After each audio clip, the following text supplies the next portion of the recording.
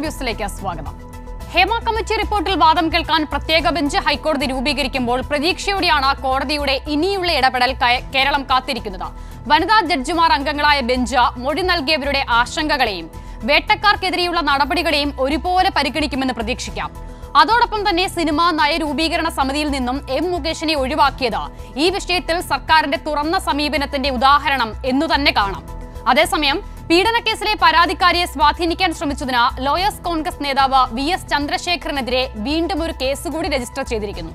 പരാതികളും നടപടികളും ഒക്കെയും ഇനി കോടതിയുടെ മുന്നിലാണ്. സിനിമാ മേഖലയിലെ അനാരോഗ്യകരമായ സകല പ്രവണതകളെയും ഹേമ കമ്മിറ്റി റിപ്പോർട്ടിലൂടെ ശുദ്ധീകരിക്കാൻ കോടതിക്കാകുമോ എന്നാണ് ഇന്ന് ന്യൂസ് ആൻഡ് വ്യൂസ് പരിശോധിക്കുന്നത്. ഈ ചർച്ചയിൽ അതിഥികളായി ചേരുന്നത് N Sukanya C P I എമ്മിൽ നിന്നും. അഡ്വക്കേറ്റ് വസന്ത് സിറിയ കോൺഗ്രസ് നേതാവ്. അഡ്വക്കേറ്റ് സി ഷുക്കൂർ നടൻ അഭിഭാഷകൻ എന്നിവരാണ്.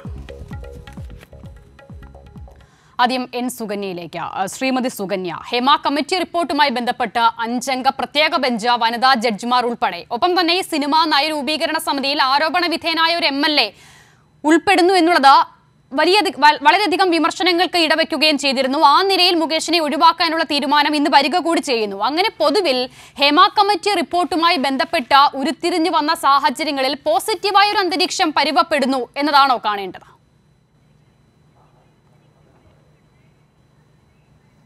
തീർച്ചയായിട്ടും. ഇന്ന് ഹൈക്കോടതിയുടെ ഭാഗത്തു നിന്ന് വന്ന വളരെ സുപ്രധാനമായ തീരുമാനത്തെ വളരെ സന്തോഷപൂർവം സ്വാഗതം ചെയ്യുകയാണ്. കാരണം നമുക്കറിയാം ഹേമ കമ്മിറ്റി റിപ്പോർട്ട് പുറത്തു വന്നതിന് ശേഷം നിലവിൽ ഇതിനകം തന്നെ ഏതാണ്ട് പത്തോളം കേസുകൾ രജിസ്റ്റർ ചെയ്യപ്പെട്ട് കഴിഞ്ഞിട്ടുണ്ട്. അതിന് പുറമെ ഹൈക്കോടതിയുടെ മുമ്പാകെ വന്നിട്ടുള്ള നിരവധി ഹർജികളുമുണ്ട്. അപ്പോൾ ഇതൊക്കെയുമായി ബന്ധപ്പെട്ടുകൊണ്ട് തുടർ നടപടികളിലേക്ക് പോകുന്നതിന് വേണ്ടി പ്രത്യേക ബെഞ്ച് അത് ഇവിടെ സൂചിപ്പിച്ചതുപോലെ വനിതാ ജഡ്ജി ഉൾപ്പെടെ അംഗമായിട്ടുള്ള പ്രത്യേക ബെഞ്ച് രൂപീകരിക്കുന്നതിന് വേണ്ടിയാണിപ്പോൾ ഹൈക്കോടതി നിർദ്ദേശിച്ചിരിക്കുന്നത്. ഇത് ഹേമ കമ്മിറ്റി റിപ്പോർട്ടിന്റെ മേലുള്ള തുടർ നടപടികളെ ത്വരിതപ്പെടുത്താൻ സഹായിക്കും എന്ന് തന്നെയാണ് പ്രതീക്ഷിക്കുന്നത്. അതോടൊപ്പം ഞാൻ മനസ്സിലാക്കുന്നത് സെപ്റ്റംബർ മാസം പത്താം തീയതി ഹേമ കമ്മിറ്റി റിപ്പോർട്ടിന്റെ പൂർണ രൂപം സീൽഡ് കവറിൽ ഹൈക്കോടതിയുടെ മുമ്പാകെ സമർപ്പിക്കണമെന്നും അതും ഈ പുതി പുതുതായി രൂപീകരിച്ച പ്രത്യേക ബെഞ്ചായിരിക്കും. അതുമായി ബന്ധപ്പെട്ടുകൊണ്ടുള്ള പരിശോധനയും തുടർ നടപടികൾ സംബന്ധിച്ച ധാരണയും രൂപീകരിക്കുന്നത് എന്നാണ് ഞാൻ മനസ്സിലാക്കുന്നത്. തീർച്ചയായിട്ടും ഇത് വളരെ സ്വാഗതാർഹമായിട്ടുള്ള ഒരു സമീപനമാണ് ബഹുമാനപ്പെട്ട കോടതിയുടെ ഭാഗത്തു നിന്നും ഉണ്ടായിട്ടുള്ളത് അതോടൊപ്പം ഇവിടെ രണ്ടാമത് ചൂണ്ടിക്കാണിച്ച വിഷയം നമ്മുടെ കേരളത്തിലെ മാത്രമല്ല ഇന്ത്യയിലൊക്കെ തന്നെയുള്ള ജനാധിപത്യ വിശ്വാസികളായിട്ടുള്ള പുരോഗമനപരമായി ചിന്തിക്കുന്ന എല്ലാവരും തീർച്ചയായിട്ടും ആഗ്രഹിച്ചിട്ടുള്ള ഒരു കാര്യമാണ്. കേരളത്തിലെ പിണറായി സർക്കാർ നമുക്കറിയാം വളരെ പ്രതിജ്ഞാബദ്ധതയോടുകൂടി സ്ത്രീപക്ഷ നിലപാട് എടുത്തതിന്റെ ഭാഗമായിട്ടാണ് ഇത്തരത്തിലുള്ള ഒരു ഹേമ കമ്മിറ്റി റിപ്പോർട്ട് രണ്ടായിരത്തി കമ്മിറ്റി രണ്ടായിരത്തി പതിനേഴിൽ രൂപീകരിക്കപ്പെട്ടതും രണ്ടായിരത്തി പതി പത്തൊൻപതിൽ അതിന്റെ റിപ്പോർട്ട് പുറത്തു വന്നതും. അതിന്റെ തുടർന്ന് ഇപ്പോൾ സാങ്കേതിക തടസ്സങ്ങൾ നിയമ തടസ്സങ്ങളൊക്കെ മാറി ആ റിപ്പോർട്ട് പുറത്തു വന്നു കഴിഞ്ഞപ്പോൾ കുറ്റാരോപിതരായിട്ടുള്ള ആളുകൾ അവർ തീർച്ചയായിട്ടും അത്തരം ആളുകളെ ഒരു തരത്തിലും ഈ നയരൂപീകരണ ത്തിന്റെ ഭാഗമായിട്ട് ഉൾപ്പെടുത്തരുത്. ശ്രീ മുകേഷ് ഉൾപ്പെടെയുള്ള ആളുകൾ അതിൽ നിന്ന് മാറ്റി നിർത്തപ്പെടണം എന്ന ആ ഒരു തീരുമാനം ഗവൺമെന്റിന്റെ ഭാഗത്തു നിന്ന് വരുന്നത് എത്രമാത്രം ഈ ഗവൺമെന്റ് തന്റെ അതിന്റെ സ്ത്രീപക്ഷ നിലപാടുകളിൽ പ്രതിജ്ഞാബദ്ധമാണ് എന്നുള്ളത് കൂടി ചൂണ്ടിക്കാണിക്കുന്ന ഒന്നാണ്. തീർച്ചയായിട്ടും അത്തരം ഒരു ആ, നിലപാടെടുത്ത ഗവൺമെന്റിനെ അഭിനന്ദിക്കേണ്ടതാണ് എന്നാണ് ഈ സന്ദർഭത്തിൽ സൂചിപ്പിക്കാനുള്ളത്. യെസ് ഞാൻ മടങ്ങി വരാം. ശ്രീ സി ഷുക്കൂർ നമ്മൾ പറഞ്ഞതുപോലെ ഹെമ കമ്മിറ്റി റിപ്പോർട്ടുമായി ബന്ധപ്പെട്ട കോടതിയുടെ മുന്നിലേക്ക് ഈ വിഷയം വരുന്നു. നോക്കൂ അതിന്റെ നിയമപരമായ ചില സാധ്യതകൾ കൂടി തേടാനാണ് ഞാൻ ആഗ്രഹിക്കുന്നത്. ഹെമ കമ്മിറ്റി റിപ്പോർട്ട് കോടതിക്ക് മുന്നിൽ എത്തുമ്പോൾ സ്വാഭാവികമായും അതിന്റെ വിവരങ്ങൾ സ്വകാര്യമായി സൂക്ഷിക്കേണ്ടതിന്റെ ആവശ്യകത ആ റിപ്പോർട്ടിന്റെ ആമുഖത്തിൽ തന്നെ പറഞ്ഞു വെക്കുന്നുണ്ട്. അതും കോടതി പരിഗണിക്കുകയും ആ നിലയിൽ കാണുകയും ചെയ്യണമല്ലോ. രണ്ടാമതൊരു കാര്യം എന്തുകൊണ്ട് സർക്കാർ ഇതിൽ ഇതിനു മുൻപൊരു ഇടപെടൽ നടത്തിയില്ല എന്നൊരു ചോദ്യം കോടതിയുടെ ഭാഗത്തുനിന്ന് ഉണ്ടാകാം. അപ്പോൾ സ്വാഭാവികമായും സർക്കാർ പറയാൻ പോകുന്ന മറുപടി എന്താകും? അതിൽ ജസ്റ്റിസ് ഹേമ തന്നെ സ്വീകരിച്ചിട്ടുള്ള നിലപാട്. അത് ഒന്നീ കമ്മിറ്റി റിപ്പോർട്ടിലൂടെ. രണ്ട് കമ്മിറ്റി റിപ്പോർട്ടിന് പിന്നാലെ സർക്കാരിന് മുന്നിൽ ജസ്റ്റിസ് ഹേമ തന്നെ കൊടുത്ത മറ്റൊരു കത്തുകൂടിയുണ്ട് ഈ രണ്ട് വിവരങ്ങൾ ഉറപ്പായും സർക്കാർ കോടതിയെ ധരിപ്പിക്കുകയും ചെയ്യും.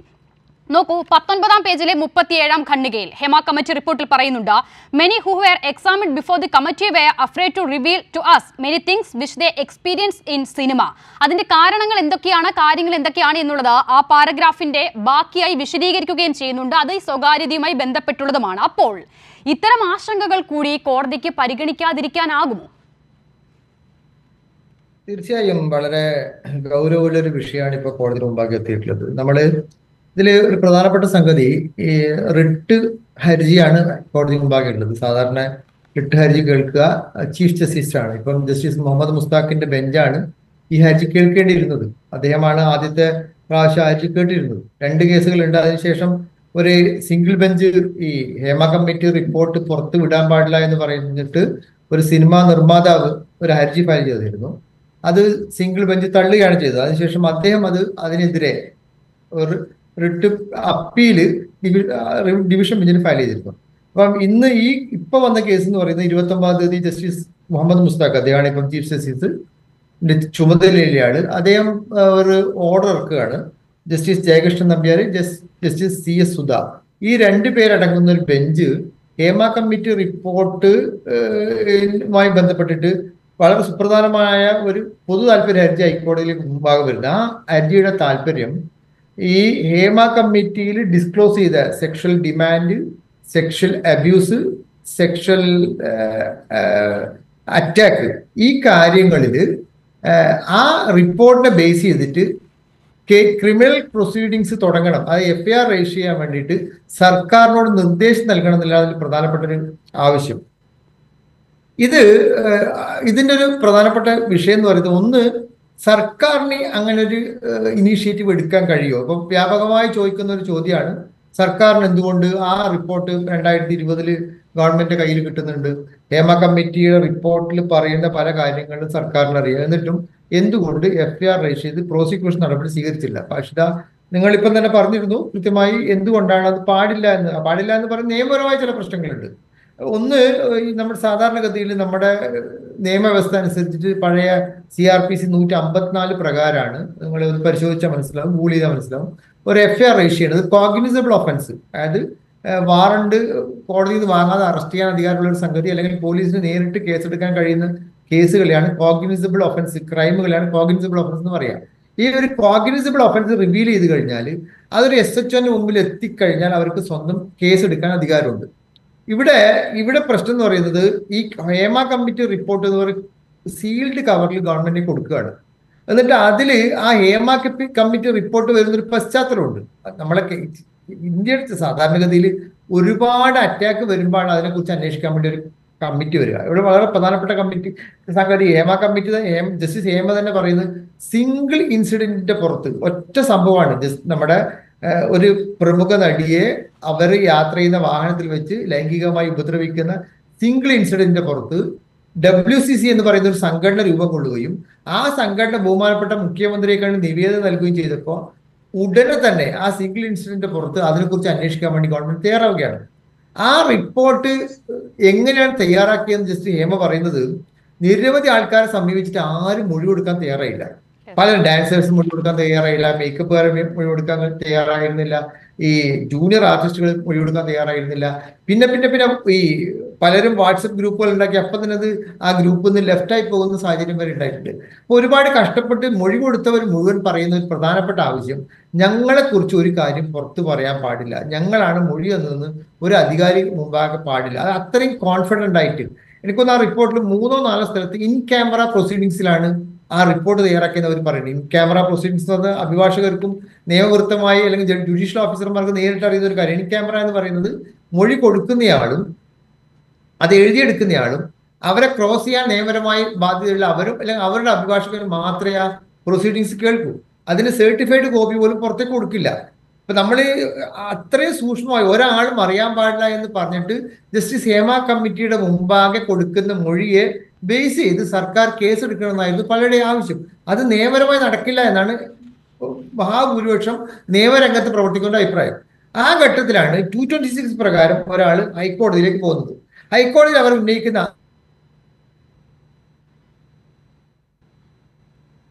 യെസ് ഞാൻ വരാം. ശ്രീ ശ്രീ ശുക്ർ ഞാൻ അങ്ങയിലേക്ക് മടങ്ങി വരാം. വസന്ത് ശ്രീയക്കിലേക്ക് കൂടി പോകുകയാണ് അദ്ദേഹത്തിലേക്ക് ഒരിക്കൽ കൂടി വരുന്നതിന് മുൻപ്. വസന്ത ഇപ്പോൾ ശ്രീ സി ശുക്കൂർ ഇവിടെ വിശദീകരിച്ചത് ഈ ഹേമ കമ്മിറ്റി റിപ്പോർട്ടുമായി ബന്ധപ്പെട്ട സർക്കാരിന് കേസ് എടുക്കാൻ കഴിയുമോ എന്നുള്ളൊരു സാഹചര്യത്തെക്കുറിച്ചായിരുന്നു. ഇതിനു മുൻപും നമ്മളത് ചർച്ച ചെയ്തതാണ്. ഇവിടെ ഇപ്പോൾ നോക്കൂ വസന്ത ഒരു അഞ്ചംഗ ബെഞ്ച് കോടതി രൂപീകരിക്കുമ്പോൾ സ്വാഭാവികമായും കോടതി ഇതിൽ ഏത് നിലയിൽ ഇടപെടും എന്ന് നമ്മൾ പരിശോധിക്കുമ്പോൾ തന്നെ ഒന്നിലധികം തവണ ജസ്റ്റിസ് ഹേമ റിപ്പോർട്ടിൽ ആവർത്തിച്ചു പറഞ്ഞ സ്വകാര്യത കോടതിയുടെ മുന്നിലും ഒരു വിഷയമായി തന്നെ വരികയാണ്. അപ്പോൾ അത് എങ്ങനെ പരിഗണിക്കപ്പെടും എന്നുള്ളത് ഒന്നാമത്തെ വിഷയം. രണ്ടാമത്തെ ഒരു പ്രധാനപ്പെട്ട കാര്യം കോൺഗ്രസ് ഉൾപ്പെടെ ഉന്നയിച്ച വലിയ ഗൗരവതരമായ ഒരു ആരോപണം ഈ സിനിമാ നയ രൂപീകരണവുമായി ബന്ധപ്പെട്ട് ആ സമിതിയിൽ എം മുകേഷ് ഉൾപ്പെടുന്നു എന്നുള്ളതായിരുന്നു. അത് ഇന്ന് ഒഴിവാക്കുകയും ചെയ്തിട്ടുണ്ട്. അപ്പോൾ ആ നിലയിൽ ഇരകൾക്കൊപ്പമാണ് സർക്കാർ എന്ന് അടിവരയിടുന്നതാണോ? ഇന്നിപ്പോൾ നമ്മൾ കണ്ട ചില ഇടപെടലുകൾ. അല്ല ആദ്യം തന്നെ ശ്രീ ഷുക്കൂറിനുള്ള ഉത്തരം. കൊഹിനിസിബിൾ ഒഫൻസ് റിവീൽ ചെയ്യപ്പെട്ടാൽ. അല്ലെങ്കിൽ അത് അതിൽ ഇരയാക്കപ്പെട്ടവർ തന്നെ വേണമെന്നില്ല. എനി വിസിൽ ബ്ലോവർ ആരെങ്കിലും അത് വിളിച്ചു പറഞ്ഞാൽ പോലും പോലീസിന് കേസെടുക്കാം. ഇപ്പൊ അദ്ദേഹം പറഞ്ഞ സീൽഡ് കവറിലാണ് സർക്കാരിന് ഈ റിപ്പോർട്ട് കൊടുക്കപ്പെട്ടത്. അതുകൊണ്ട് തന്നെ സർക്കാർ ആ ഇരകളുടെ പ്രൈവസിയെ മാനിച്ചുകൊണ്ടാണ് കേസ് എടുക്കാതെ മുമ്പോട്ട് കേസെടുക്കുന്ന ആക്ഷനിലേക്ക് പോകാതിരുന്നത് ഇത് ആദ്യം തൊട്ടുള്ള ഒരു വാദമാണ്. പക്ഷെ ഇപ്പോ ശ്രീ ഷുക്കൂർ അതിനെ കുറച്ച് ലീഗൽ മെത്തേഡിൽ പറഞ്ഞു എന്നുള്ളത് മാത്രമാണ്. നോക്കൂ ഇരകളുടെ പ്രൈവസി അത് അംഗീകരിച്ചുകൊണ്ട് തന്നെ അത് സെക്യൂർ ചെയ്തുകൊണ്ട് തന്നെ അത് സീൽ ചെയ്തുകൊണ്ട് തന്നെ പ്രതികൾക്കെതിരെ കേസെടുക്കാൻ സാധിക്കുമെന്ന് വിവിധ കേസുകൾ ഈ രാജ്യത്ത് നമ്മുടെ മുമ്പിൽ ഉണ്ട് ഉണ്ട് എന്നുള്ളതാണ് യാഥാർത്ഥ്യം. അല്ല വസന്ത് ഞാൻ ചോദിക്കുന്നു നോക്കൂ നോക്കൂ അതൊരു തർക്കത്തിനല്ല. ഇപ്പോൾ ഇര ശരിയാണ്. ഇപ്പോൾ ആദ്യഘട്ടം മുതൽ തന്നെ കോൺഗ്രസ് പറയുന്നു ഇരയുടെ സ്വകാര്യതയെ സംരക്ഷിച്ചുകൊണ്ട് തന്നെ കേസെടുക്കാം. നോക്കൂ ഒരുപക്ഷെ ഇരയുടെ സ്വകാര്യതയെ സംരക്ഷിക്കാമായിരിക്കാം. ഏത് ഘട്ടം വരെ ആ കേസുമായി ബന്ധപ്പെട്ട വിവരങ്ങൾ ഒരുപക്ഷെ മാധ്യമങ്ങളിലൂടെ അറിയിക്കാതിരിക്കുക. അല്ലെങ്കിൽ പൊതുസമൂഹത്തിന് മുന്നിൽ അത് വരാതിരിക്കുക. അത് വസന്ത് ഉൾപ്പെടെയുള്ള ആളുകൾ പറയുന്നത് ഓക്കെയാണ് അങ്ങനെ വരില്ല. പക്ഷേ ഈ ഇരയുമായി ബന്ധപ്പെട്ട ഐഡന്റിറ്റി അവർ ഉന്നയിച്ചിരിക്കുന്ന പരാതിയുമായി ബന്ധപ്പെട്ട ആളുകൾ അറിയുമല്ലോ അല്ലേ? അതായത് അതിലെ നമ്മളിപ്പോൾ സോക്കോൾഡ് വെട്ടക്കാർ എന്ന് വിളിക്കുന്ന ആളുകൾ അല്ലെങ്കിൽ അതിന്റെ കുറ്റക്കാർ. അവർ അറിയുമല്ലോ. ഇതിൽ ഏറ്റവും പ്രധാനപ്പെട്ട കാര്യം വസന്ത ഈ ഹേമ കമ്മിറ്റിക്ക് മുൻപാകെ മൊഴി കൊടുത്തിട്ടുള്ള ആളുകളുടെ ഒക്കെ ഏറ്റവും പ്രധാനപ്പെട്ട ആശങ്ക ഇത് പൊതുസമൂഹം അറിയും എന്നുള്ളതല്ല. സിനിമയിലെ തന്നെ ആ പ്രബലർ അറിയും. അത് അവരുടെ ഭാവിയെ അവരുടെ കരിയറിനെ അവരുടെ കുടുംബത്തെ ഒക്കെ ബാധിക്കും എന്നുള്ളതാണ്. അത് ഒഴിവാക്കി എങ്ങനെയാണ് വസന്തി കേസ് എടുക്കാനാകുക അതൊരു ന്യായമായ സംശയമല്ലേ? ആ നോക്കൂ. അവിടെ അവിടെയാണ് നമ്മൾ കുറച്ച് പൊളിറ്റിക്കലായ ഉത്തരം പറയേണ്ടി വരിക. ഒന്ന് ഈ പറയുന്ന ഇരകൾ ഇരകളായിട്ട് ഇരകളാക്കപ്പെടുന്നവർ. അവർ അവർക്ക് ധൈര്യമില്ലാതാവുന്നത് എപ്പോഴാണ്? അവർക്ക് ധൈര്യമില്ലാതാവുന്നത് പ്രതി ശിക്ഷിക്കപ്പെടില്ല ഇപ്പോ ഈ കേസിൽ ഞാൻ എക്സാ അങ്ങ് പറഞ്ഞ എക്സാമ്പിൾ തന്നെ കോട്ട് ചെയ്യാം. ഒരു പ്രതിയാക്കപ്പെട്ട ആൾ എത്ര ഉന്നതനാണെങ്കിലും അദ്ദേഹം ശിക്ഷിക്കപ്പെട്ട് കഴിഞ്ഞാൽ അദ്ദേഹത്തിന്റെ ഈ പറയുന്ന പ്രിവിലേജ് സോ കോൾഡ് പ്രിവിലേജ് അദ്ദേഹത്തിന്റെ അധികാരം ഈ ഇരയെ ഭീഷണിപ്പെടുത്താനുള്ള ധൈര്യം അതൊക്കെ നഷ്ടപ്പെടും. അദ്ദേഹം പ്രതി ചേർക്കപ്പെട്ട് കൃത്യമായ രീതിയിൽ അന്വേഷണം നടന്ന് ശിക്ഷിക്കപ്പെട്ടാൽ അത് ഉണ്ടാവും.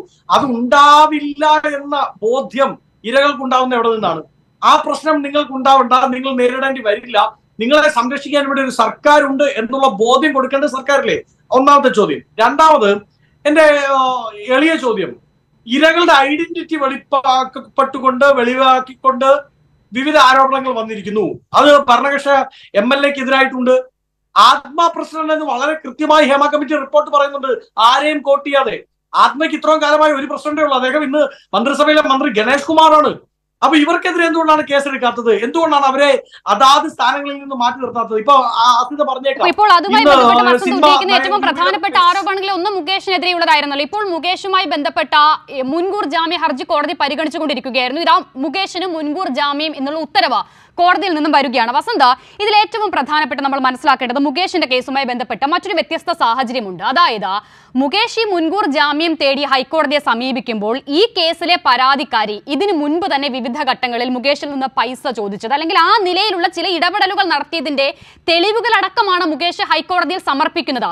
സ്വാഭാവികമായും അത് പരിഗണിച്ച് മുകേഷിന് മുൻകൂർ ജാമ്യം കോടതി കൊടുക്കുക എന്ന് പറഞ്ഞാൽ മുകേഷിന്റെ വാദത്തെ കോടതി വിശ്വാസത്തിൽ വിശ്വാസത്തിലെടുക്കുന്നു എന്നതുകൂടി അറിഞ്ഞ അർത്ഥമില്ലേ? അപ്പോൾ ഇവിടെ ഇതാ ധാർമ്മികമായും മുകേഷ് അത് തെളിയിച്ചിരിക്കുന്നു എന്നുള്ളതല്ലേ വസന്ത അതിന്റെ അർത്ഥം? ഒരിക്കലും അല്ലല്ലോ. കാര്യം എന്ന് വെച്ചാൽ മുകേഷിനെതിരെ ഉള്ളത് ഒരു ആരോപണം മാത്രമല്ല ഒന്ന്. രണ്ട് അദ്ദേഹത്തിന്റെ വിവിധ ആരോ ഇപ്പൊ അങ്ങ് പറയുന്ന ഈ വാദങ്ങൾ അദ്ദേഹം കോടതിയിൽ അവതരിപ്പിച്ചു എന്ന് പറയുന്ന വാദങ്ങൾ. ആ വാദങ്ങൾ ഭരണകക്ഷി എം എൽ എ എന്നുള്ള നിലയിൽ അദ്ദേഹം എന്തുകൊണ്ടാണ് പൊതുസമൂഹത്തിന് മുമ്പിൽ അവതരിപ്പിക്കാത്തത്? അത് അവതരിപ്പിക്കാനുള്ള ധാർമ്മിക ഉത്തരവാദിത്തം അദ്ദേഹത്തിന് ഒന്നായി ഉണ്ട്.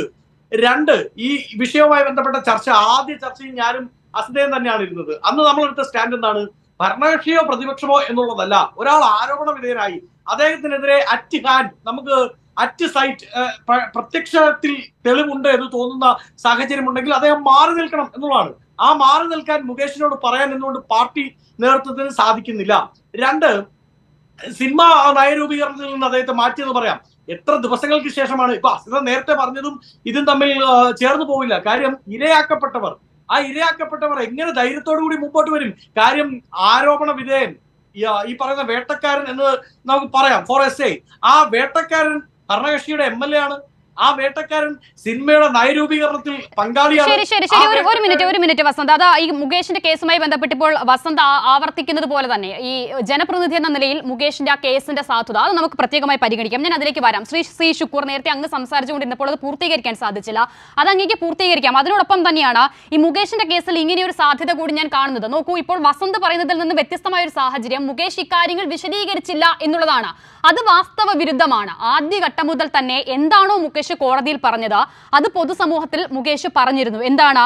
ഈ പരാതിക്കാരിയുമായി ബന്ധപ്പെട്ട് ഇതിന് മുൻപ് തന്നെ അവർ തന്നോട് പൈസ ആവശ്യപ്പെട്ടതിന്റെ ബ്ലാക്ക്മെയിൽ ചെയ്തതിന്റെ ഒക്കെ തെളിവ് തന്റെ പക്കലുണ്ട്. അതൊക്കെയും മുകേഷ് മുൻകൂർ ജാമ്യവുമായി ബന്ധപ്പെട്ട് കോടതിയെ സമീപിക്കുമ്പോൾ തന്നെ അവതരിപ്പിക്കുകയും ചെയ്തിട്ടുണ്ട്. അപ്പോൾ അത് പരിഗണിച്ച കോടതി മുൻകൂർ ജാമ്യം കൊടുത്തു എന്ന് പറഞ്ഞാൽ മുകേഷിന്റെ വാദങ്ങൾക്ക് ഒരു സേ ഉണ്ടാകുന്നു എന്നതുകൂടി അതിന് അർത്ഥമുണ്ടോ?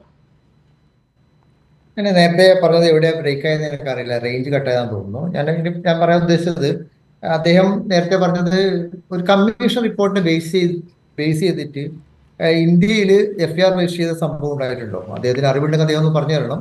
ഇന്ത്യ കമ്മീഷൻ റിപ്പോർട്ടിനെ ബേസ് ചെയ്തിട്ട് അല്ലെങ്കിൽ കമ്മിറ്റി റിപ്പോർട്ട് സോറി കമ്മിറ്റി റിപ്പോർട്ടിനെ ബേസ് ചെയ്തിട്ട് കമ്മിറ്റി റിപ്പോർട്ട് ഒരു കമ്മിറ്റിക്ക് മുമ്പാകെ നൽകിയ മൊഴിയുടെ അടിസ്ഥാനത്തിൽ ഇന്ത്യയിൽ എഫ് ആർ രജിസ്റ്റർ ചെയ്തിട്ടുണ്ടോ? ഉണ്ടെങ്കിൽ അദ്ദേഹം ഒന്ന് എന്റെ ചെയ്യാൻ നന്നായത് എനിക്കറിയില്ല. ഒരുപക്ഷെ എന്റെ അറിവിന്റെ പരിമിതി ആയിരിക്കും ഞാൻ മനസ്സിലാക്കിയെടുത്തോളം നിരവധി കോടതി സുപ്രീം കോടതിയിലും ഹൈക്കോടതിയും വിധികളുണ്ട്. കമ്മിറ്റി റിപ്പോർട്ടിനെ ബേസ് ചെയ്തിട്ട്. ആ കമ്മിറ്റി റിപ്പോർട്ടിൽ ഒരാൾ കൊടുത്ത മൊഴി അനുസരിച്ചിട്ട് എഫ് ആർ രജിസ്റ്റർ ചെയ്യാൻ കഴിയില്ല. കാരണം അതിന് പരിമിതികളുണ്ട്. എഫ് ആർ രജിസ്റ്റർ ചെയ്യണമെങ്കിൽ സി ആർ പി സി നൂറ്റി അമ്പത്തിനാല് പ്രകാരം കോഗ്നിസിബിൾ ഒഫൻസ് എടുക്കണമെങ്കിൽ അത് ഒരാൾ അറിയണം. ആ എസ് എച്ച് എങ്കിലും അറിയണം. ആ എസ് എച്ച് അറിഞ്ഞിട്ട് അതിന്റെ പുറത്ത് റിപ്പോർട്ട് കൊടുക്കണമെങ്കിൽ അത് ആ റിപ്പോർട്ട് പോലീസ് സ്റ്റേഷനിലേക്ക് എത്തണം. ഇന്ന് കൺസേൺഡ് പോലീസ് ഇപ്പം ഗവൺമെന്റ് എന്താ ചെയ്തത്? വളരെ അദ്ദേഹം പ്രാക്ടീസിങ് ലോയറാണ് ഞാൻ മനസ്സിലാക്കുന്നത് നേരത്തെ അദ്ദേഹം അഡ്വക്കേറ്റ് ആണെന്ന് പറഞ്ഞുകൊണ്ട് ഞാൻ പറയാണ് ഗവൺമെന്റ് എടുക്കുന്ന സ്റ്റാൻഡ് എന്താ? സാധാരണഗതിയിൽ പതിനഞ്ചും പതിനാറും പതിനേഴും പതിനെട്ടും വർഷം പഴക്കമുള്ള ഒരു സംഭവത്തിന്റെ പുറത്ത് സി ആർ പി സി പ്രകാരം നമ്മൾ ഒരു പോലീസ് സ്റ്റേഷൻ ഹൗസ് ഓഫീസർ മുമ്പാകെ പരാതി നൽകിയാൽ ആ പരാതി നേരിട്ട് എഫ് ആർ രജിസ്റ്റർ ചെയ്യുന്ന സംഭവം ഉണ്ടാവാറുണ്ടോ? നിങ്ങൾ പ്രാക്ടീസ് ചെയ്യുന്ന ലോയർ അല്ലേ? പോലീസ് പറയും നിങ്ങൾ അത് ഇത് ഡിലേ ഉണ്ട്. ഈ ഡിലേ എക്സ്പ്ലെയിൻ ചെയ്തിട്ടില്ല. അതുകൊണ്ട് എഫ് ഐ ആർ രജിസ്റ്റർ ചെയ്യാൻ ഞങ്ങൾ തയ്യാറാവില്ല. പിന്നെ എന്താ ചെയ്യുക അടുത്ത് എസ് പിക്ക് പരാതി സൂപ്രണ്ട് ഓഫ് പോലീസിന് ജില്ലാ പോലീസ് മേധാവിക്ക് രജിസ്റ്റേർഡ് തപ്പാലിൽ സി ആർ പി സി നൂറ്റി അമ്പത്തിനാല് ക്ലോസ് ത്രീ പ്രകാരം പരാതി കൊടുക്കണം. അതൊന്നും മടങ്ങി വന്നാൽ മജിസ്ട്രേറ്റ് മുമ്പാകെ സി ആർ പി സി ഇരുന്നൂറ് പ്രകാരം ഒരു പരാതി ഫയൽ ചെയ്യുകയും അത് പോലീസിലേക്ക് എഫ് ഐ ആർ രജിസ്റ്റർ ചെയ്യാൻ വേണ്ടി അയക്കുന്ന രീതിയാണ് എത്രയോ വർഷമായി കേരളത്തിലുള്ളത്. ഈ ഡിലേ വന്നു കഴിഞ്ഞാൽ ഇപ്പം ലളിതകുമാരി കേസിൽ പോലും ഡിലേ വന്നു കഴിഞ്ഞാൽ പ്രിലിമിനറി എൻക്വയറി നടത്താൻ എന്നാണ് ലളിതകുമാരി കേസിൽ സുപ്രീം കോടതി പറയുന്നത്. അപ്പൊ ഇവിടെ എന്താ സംഭവിച്ചത്? ഇവിടെ മുഖ്യമന്ത്രി പത്രസമ്മേളനം നടത്തിയിട്ട് ഗവൺമെന്റ് നിലപാട് വളരെ വ്യക്തമായി പറഞ്ഞു. നിങ്ങൾ പരാതിയുമായി വന്നാൽ എത്ര ഉന്നതനായാലും അയാൾക്കെതിരെ കേസെടുക്കും. അത് പാലിക്കപ്പെട്ടു. മുഖ്യമന്ത്രിയുടെ വാക്ക് വിശ്വസിച്ചിട്ട് പത്തൊമ്പത് കേസുകൾ ഇന്ന് കേരളത്തിൽ രജിസ്റ്റർ ചെയ്തിട്ടുണ്ട്. പത്തൊമ്പത് കേസുകൾ രജിസ്റ്റർ ചെയ്തത് ആ കേസുകളെല്ലാം വളരെ പ്രധാനപ്പെട്ടതാണ്. മുകേഷ് അടക്കമുള്ള ആൾക്കാർക്കെതിരെ കേസുണ്ട്. അദ്ദേഹം ഈ പിന്നെ ഒരു ക്രിമിനൽ കേസ് രജിസ്റ്റർ ചെയ്ത് കഴിഞ്ഞാൽ അതിൽ പ്രതിയാവട്ടെ വാദിയാവട്ടെ അവർ മീഡിയക്ക് മുമ്പ് വന്ന് സംസാരിക്കുന്നത് ആ കേസിനെ രണ്ടുപേരുടെ കേസിനെ ദുർബലമാക്കുമെന്ന് അവർ അനുഭവം കൊണ്ട് അറിയുന്ന ഒരാളാണ് ഞാൻ. നിരവധി കേസുകളുണ്ട്. ഈ ഒരു പോലീസ് സ്റ്റേഷനിൽ ഒരു ഒരു ഇരയാക്കപ്പെട്ട ആൾ ഇരുപത്തൊന്ന് പേർക്കെതിരെ കേസ് ഫയൽ ചെയ്തു. ആ പോലീസ് അവർ കൃത്യമായി ഡേറ്റ് പറഞ്ഞു കൊടുത്തിട്ടാണ് ഇന്ന് ഇരുപത്തൊന്ന് ആൾക്കാർ ഇന്നേയും ഇന്ന ദിവസങ്ങൾ ഉപദ്രവിച്ചെന്ന് തൊട്ടാണ് കേസ് ത്രീ സെവന്റി സിക്സ് അടക്കം എഫ്ഐആർ രജിസ്റ്റർ ചെയ്തു. അതിലെ പ്രതികൾ പലരും ആ ആ പറയുന്ന കൺസ സ്പെസിഫിക് ഡേറ്റുകളിൽ സ്ഥലത്തുണ്ടായിരുന്നില്ല. അവർ ആ പാസ്പോർട്ട് വെച്ചിട്ട് അവർ വിദേശത്തായിരുന്നു പാസ്പോർട്ട് വെച്ചിട്ട് four thirty eight C R P C പ്രകാരം മുൻകൂർ ജാമ്യത്തിന് ഫയൽ ചെയ്തു. സെഷൻസ് കോടതി മുൻകൂർ ജാമ്യം കൊടുത്തു. അവരെന്ത് ചെയ്തു പറഞ്ഞാൽ ഇതിന് ശേഷം ഈ ഇരയാക്കപ്പെട്ട ആൾ ഹൈക്കോടതി പോയിട്ട് പോലീസിനെതിരെ റിട്ട് ഫയൽ ചെയ്തു. പോലീസ് പ്രോപ്പർ അന്വേഷണം നടത്തില്ല എന്ന് പറഞ്ഞിട്ട്. അതിനുശേഷം എന്ത് ചെയ്തു എന്ന് പറഞ്ഞാൽ വീണ്ടും അന്വേഷണ ഏജൻസിനെ മാറ്റി ക്രൈംബ്രാഞ്ചിലേക്ക് മാറ്റി. ക്രൈംബ്രാഞ്ച് രണ്ടാമത് മൊഴി എടുക്കുന്ന സമയത്ത് പാസ്പോർട്ട് ഡേറ്റ് നോക്കിയിട്ട് ഇവർ തിരുത്തി പറഞ്ഞു. അങ്ങനെയാണ് ആ മുൻകൂർ ജാമ്യം റദ്ദ് ചെയ്തിട്ട് വീണ്ടും അവർ അകത്തേക്ക് പോയത്. അപ്പം മുകേഷ് എന്നല്ല ആരും ഒരു ക്രൈം രജിസ്റ്റർ ചെയ്ത് കഴിഞ്ഞാൽ അവരെ കയ്യിലുള്ള defence whatever it may be എന്തായാലും അത് പബ്ലിക് ഡൊമൈനിൽ പറയുന്നത് കേസ് വാദിയുടെയും പ്രതിയുടെയും കേസ് ദുർബലാക്കും. അത് ഇരയാക്കപ്പെട്ട ആളും ശരിയായാലും വേട്ടക്കാരനായാലും അവരുടെ കേസ് പബ്ലിക് ഡൊമൈനിൽ പറയുന്നത് ശരിയല്ല. ബന്ധപ്പെട്ട കോടതികളിൽ പറയാം. പിന്നെ മുൻകൂർ ജാമ്യം നൽകിയത് കൊണ്ട് കേസ് ദുർബലാവുന്നു എന്നൊരു വാദം എനിക്ക് അംഗീകരിക്കാൻ ബുദ്ധിമുട്ടുണ്ട്. ലോ ക്രിമിനൽ ലോയിൽ പ്രാക്ടീസ് ചെയ്യുന്ന ആളെന്നുകൊണ്ട് മുൻകൂർ ജാമ്യം എന്ന് പറയുന്നത് അദ്ദേഹത്തെ ഈ ഘട്ടത്തിൽ അറസ്റ്റിന്റെ ആവശ്യമില്ല എന്നതുകൊണ്ട് മാത്രമാണ് മുൻകൂർ ജാമ്യം കൊടുക്കുന്നത്. അറസ്റ്റും ജയിലും ഈ ഘട്ടത്തിൽ ആവശ്യമില്ലാത്തത് കൊണ്ട് മാത്രമാണ് മുൻകൂർ ജാമ്യം കൊടുക്കുന്നത്. അതുകൊണ്ടാണ് എന്റെ കേസ് പോയി നമ്മൾ ഈ ഘട്ടത്തിൽ വിചാരിക്കാം. അതിൽ എനിക്കുമില്ല. ഞാൻ അതിൽ ചോദിച്ചത് മുകേഷ് മറ്റുള്ളവരിൽ നിന്നും വ്യത്യസ്തമായി. ഈ കേസുമായി ബന്ധപ്പെട്ട് തന്റെ വാദം ശരിയാണെന്ന് തെളിയിക്കുന്ന ചില ഡോക്യുമെന്റ്സ് കോടതിയിൽ സമർപ്പിച്ചിട്ടുണ്ട് എന്നുള്ളതാണ് മനസ്സിലാക്കുന്നത്. അപ്പോൾ ഈ മുൻകൂർ അല്ല, അതിപ്പോ കോടതി അത് പരിഗണിച്ചിട്ടുണ്ടാകാമല്ലോ. അതാണ് ചോദ്യം. അല്ല അത് മറ്റ് പ്രതികളുടെ മുൻകൂർ ജാമ്യ അപേക്ഷ വരുമ്പോൾ സാധാരണഗതിയിൽ ഇതിന് വിരുദ്ധമായ ഒരു സമീപനം കോടതികളിൽ ഉണ്ടാവുമെന്ന് ഞാൻ വിചാരിക്കുന്നില്ല. ഡിലേ വളരെ പ്രധാനപ്പെട്ട ഒരു കാര്യമാണ്. ആ ഡിലേ എക്സ്പ്ലെയിൻ ചെയ്ത് എങ്ങനെയെന്ന് വളരെ പ്രധാനപ്പെട്ടതാണ്. പിന്നെ അദ്ദേഹം പറഞ്ഞല്ലോ ഈ സെക്ഷൽ അബ്യൂസിൽ ഇപ്പം രണ്ട് കോൺഗ്രസിന്റെ എം എൽ എമാര് ഒരു രണ്ട് കോൺഗ്രസിന്റെ എം എൽ എമാര് ഇത് ആരോപണമല്ല. പോലീസിൽ എഫ്ഐആർ വന്ന് അന്വേഷണം. കുറ്റപത്രം അല്ല കുറ്റപത്രം കൊടുത്തിട്ടുണ്ട്. ഫൈനൽ റിപ്പോർട്ട് ഫയൽ അതായത് ആ കുറ്റകൃത്യം ചെയ്തു എന്ന് പ്രഥമ ദൃഷ്ടിയ പോലീസിന് ബോധ്യപ്പെട്ട് കുറ്റപത്രം കൊടുത്ത രണ്ടുപേര് കേരള നിയമസഭയിൽ അംഗങ്ങളാണ്. ആ അംഗങ്ങളായി ഇരുന്നതുകൊണ്ട് ഇപ്പുറത്ത് ഇപ്പുറത്തിരിക്കാൻ യോഗ്യത ഉണ്ടെന്ന് വെച്ചാൽ എനിക്ക് വിരുദ്ധ അഭിപ്രായമുണ്ട്. അശ്വതിയുടെ അഭിപ്രായം എനിക്കില്ല. നിയമസഭയിൽ അംഗങ്ങളായിരിക്കുന്നവർ ഇത്തരം നൂറ്റമ്പത് പേര് അപ്പുറത്തുണ്ടല്ലോ. അതുകൊണ്ട് ഒരാൾ ഇപ്പുറത്തുണ്ടായിരിക്കട്ടെ എന്ന ഭാഗത്തോട് എനിക്ക് വിയോജിപ്പുണ്ട്. അത് വേറെ സംഗതിയാണ്. പക്ഷേ എം എൽ എ ആയി തുടരുന്നത് ആരായാലും അവർ ഇത്തരം ക്രൈമുകൾ പെട്ടുന്നവർ ആ സ്ഥാനങ്ങൾ രാജിവെക്കുന്നതാണ് ജനാധിപത്യത്തിന് ഉചിതം എന്ന് വിചാരിക്കുന്ന ഒരാളാണ് ഞാൻ. യെസ് യെസ് തീർച്ചയായും ഞാൻ വരാം. എൻ സുകന്യ ഇവിടെ ഇപ്പോൾ മുകേഷ് സിനിമാ നയരൂപീകരണ സമിതിയിൽ നിന്നും മാറി നിൽക്കുന്നതിനെ പോലും കോൺഗ്രസ് കാണുന്നത്. ഇത്രമാത്രം സമ്മർദ്ദങ്ങൾക്കൊടുവിലാണ് സർക്കാരിന് അങ്ങനെ ഒരു തീരുമാനത്തിലേക്ക് എത്തേണ്ടി വന്നത് എന്നുള്ളതാണ്. ഒരുപക്ഷെ ഇന്നിപ്പോൾ നോക്കൂ മുൻകൂർ ജാമ്യ ഹർജി പരിഗണിക്കുന്ന നില കോടതിയിൽ ഉണ്ടാകുന്നുണ്ട്. തൊട്ടടുത്ത ദിവസങ്ങളിൽ തന്നെ ഹേമ കമ്മിറ്റി റിപ്പോർട്ടിന്റെ പൂർണരൂപം മുദ്രവച്ച കവറിൽ കോടതിയിൽ സമർപ്പിക്കാനിരിക്കുന്നുണ്ട്. അപ്പോൾ ഈ സാഹചര്യങ്ങളെ മുൻകൂട്ടി കണ്ട് അല്ലെങ്കിൽ ഈ സാഹചര്യങ്ങൾ പ്രതികൂലമാകുമോ എന്ന് കരുതി നിർബന്ധിതമായി അങ്ങനെ ഒരു നിലപാട് സർക്കാരിന് എടുക്കേണ്ടി വന്നതാണ് എന്ന് പ്രതിപക്ഷത്തിന് ആരോപിക്കാൻ സാധിക്കുന്നത് ഒരുപക്ഷെ ഇത്ര ദിവസം അതിലൊരു ഡിലേ ഉണ്ടായത് കൊണ്ടാണ്.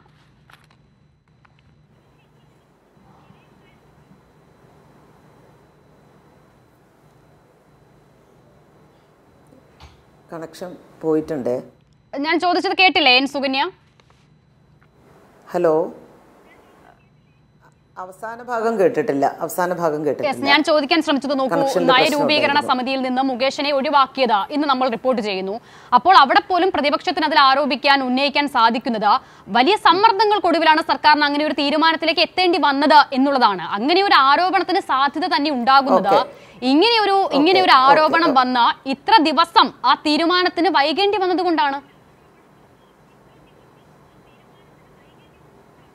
നോക്കൂ ഞാൻ ഇതിൽ ആദ്യം പറയാൻ ആഗ്രഹിക്കുന്നു. കേൾക്കുന്നുണ്ടല്ലോ അല്ലേ? കേൾക്കാം പറഞ്ഞോളൂ. ഹലോ? ആ ആ. ആദ്യം തന്നെ പറയാൻ ആഗ്രഹിക്കുന്നത് ഇവിടെ ശ്രീ വസന്ത് സൂചിപ്പിച്ചു ഇത്ര ഇത്തര ഇത്തരത്തിൽ സ്ത്രീകളെ സംരക്ഷിക്കുന്ന സ്ത്രീകൾക്കൊപ്പം നിൽക്കുന്ന ഒരു സർക്കാർ ഉണ്ട് എന്ന് ഉറപ്പ് എങ്ങനെയാണ് നൽകാൻ കഴിയുക? നോക്കൂ ശ്രീ വസന്ത് ഈ കേരളത്തിലെ സ്ത്രീകളെ സംബന്ധിച്ചിടത്തോളം ഇത്ത ഇന്ന് പരാതിയുമായി മുന്നോട്ട് വന്ന സ്ത്രീകൾ മാത്രമല്ല ഇനിയും ഒരുപാട് ആളുകൾ പരാതിയുമായി മുന്നോട്ട് വരും എന്ന് തന്നെയാണ് നമ്മൾ എല്ലാവരും കരുതുന്നത്. അത്തരത്തിൽ വരാനുള്ള ഒരു ആത്മവിശ്വാസം അവർക്ക് കൊടുത്തത് ആർക്കാണ് അക്കാര്യത്തിൽ സംശയമുള്ളത്? അത് കേരളത്തിലെ പിണറായി സർക്കാരിന്റെ ഗവൺമെന്റിന്റെ ഏറ്റവും ഇച്ഛാശക്തിയോടുകൂടിയുള്ള ഇടപെടൽ തന്നെയാണെന്നുള്ള കാര്യത്തിൽ ആർക്കാ സംശയം? ഇവിടെ നേരത്തെ ഷുക്കൂർ വക്കീൽ പറയുമ്പോൾ സൂചിപ്പിക്കേണ്ടായി. ഹേമ കമ്മിറ്റി റിപ്പോർട്ടിന്റെ തുടക്കത്തിൽ തന്നെ പറയുന്നു സാധാരണ രീതിയിൽ നിന്ന് വ്യത്യസ്തമായിട്ട് ഒരു സിംഗിൾ കേസ് വന്നപ്പോൾ തന്നെ ഡബ്ല്യു സി സി അന്ന് ഇത്തരമൊരു ആവശ്യവുമായി ഗവൺമെന്റിനെ സമീപിച്ചപ്പോൾ.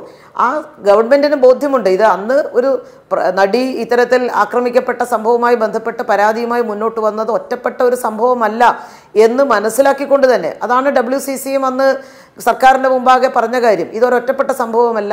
സിനിമ രംഗത്ത് സ്ത്രീകൾ പലതരത്തിലുള്ള ചൂഷണങ്ങൾക്ക് വിധേയമാകുന്നുണ്ട് ലൈംഗികമായ ചൂഷണങ്ങൾക്ക് വിധേയമാകുന്നുണ്ട്. അതിനപ്പുറത്തേക്ക് മറ്റ് രൂപത്തിലുള്ള വിവേചനങ്ങൾ പ്രാഥമിക സൗകര്യങ്ങളില്ലാത്തതുൾപ്പെടെയുള്ള നിരവധി വിഷയങ്ങളുണ്ട്. ഇത് പഠിക്കണമെന്ന് ആവശ്യപ്പെട്ടപ്പോൾ അതിന് തീരുമാനമെടുക്കാൻ തയ്യാറായ ചരിത്രപരമായ തീരുമാനമെടുത്ത ഒരു ഗവൺമെന്റാണിത് അതെന്താ നിങ്ങൾ നിങ്ങൾ എത്ര കാണണ്ടെന്ന് വിചാരിച്ചാലും എത്ര മറച്ചു വെക്കാൻ ശ്രമിച്ചാലും ഇന്ന് രാജ്യം മുഴുവൻ ഈ വിഷയം ചർച്ച ചെയ്യുകയാണ് ഇന്ത്യയിലെ മറ്റെല്ലാ സംസ്ഥാനങ്ങൾക്കകത്തും ഈ ഗവൺമെന്റ് എടുത്ത ഈ ഹേമ കമ്മിറ്റിയെ നിയോഗിക്കാൻ തീരുമാനിച്ച നിലപാടിനെ സിനിമാ മേഖലയുമായി ബന്ധപ്പെട്ട് ആളുകൾ മാത്രമല്ല സ്ത്രീകളുടെ രംഗത്ത് പ്രവർത്തിക്കുന്ന ആളുകൾ ഉൾപ്പെടെയുള്ള ആളുകൾ അതിനെ വലിയ ഇതാണ് സ്വാഗതം ചെയ്യുന്ന ഒരു നിലപാട് സ്വീകരിക്കുകയാണ്. നമുക്ക് ഞാൻ ഇന്ന് ഒരു ഒരു യൂട്യൂബ് വീഡിയോ കാണാനിടയായി. നമ്മുടെ സജിത മഠത്തിൽ ഫേസ്ബുക്കിൽ ഷെയർ ചെയ്തിരുന്ന ഒരു വീഡിയോയാണ്.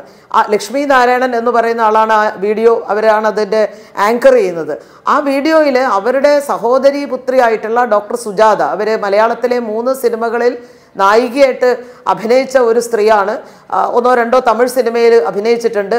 ആ സ്ത്രീ മുന്നോട്ട് വന്ന് അവരുടെ അനുഭവം അവർ പറയുകയാണ്. അവർക്കുണ്ടായ വേദനാജനകമായ അനുഭവം. ഒരു മണിക്കൂറോളം നീണ്ട ഒരു ഇന്റർവ്യൂ ആണ്. അത് യഥാർത്ഥത്തിൽ അത് കേൾക്കുമ്പോൾ വല്ലാത്ത രൂപത്തിൽ നമ്മുടെ എല്ലാം അത് മലയാള സിനിമാ രംഗത്ത് നിന്നല്ല അവർക്കുണ്ടായത്. തമിഴ് സിനിമാ രംഗത്ത് നിന്നുണ്ടായ അവർ ആ സന്ദർഭത്തിൽ അവർ പേര് വെളിപ്പെടുത്തുന്നില്ല അവർ പറയുന്നുണ്ട് അവരുടെ മേൽ അത്തരത്തിലുള്ള ഒരു അതിക്രമം നടത്തിയാൾ അവരെ അവർ പറ ഉപയോഗിച്ച വാക്ക് സെക്സ് സ്ലേവ് ആക്കി മാറ്റിയ ആൾ. അത് പതിനെട്ട് വയസ്സുള്ള ഒരു പെൺകുട്ടി വളരെ ഉയർന്ന കുടുംബ പശ്ചാത്തലത്തിൽ നിന്ന് വന്ന ഒരു പെൺകുട്ടിയായിട്ട് കൂടി. കാരണം സാമ്പത്തികമായിട്ട് ഉയർന്നതെന്ന് പറഞ്ഞാൽ ഞാൻ ഉദ്ദേശിച്ചത് നല്ല ഒരു ബാക്ക്ഗ്രൗണ്ടുള്ള അത്തരത്തിലുള്ള സുരക്ഷിതമായ അന്തരീക്ഷത്തിൽ വന്ന ഒരു പെൺകുട്ടിക്കുണ്ടായ അനുഭവമാണ് അവർ അതിനകത്ത് പറയുന്നത്. അപ്പോൾ അത്തരത്തിലുള്ള ആളുകൾ ഉൾപ്പെടെ ഇന്ന് പറയാൻ തയ്യാറായി മുന്നോട്ട് വരുന്നു. പക്ഷെ പറയുമ്പോൾ അവർ പറയുന്നു ഞാൻ ആരെയും ഇനി വിക്ടിമൈസ് ചെയ്യാൻ ഉദ്ദേശിക്കുന്നില്ല.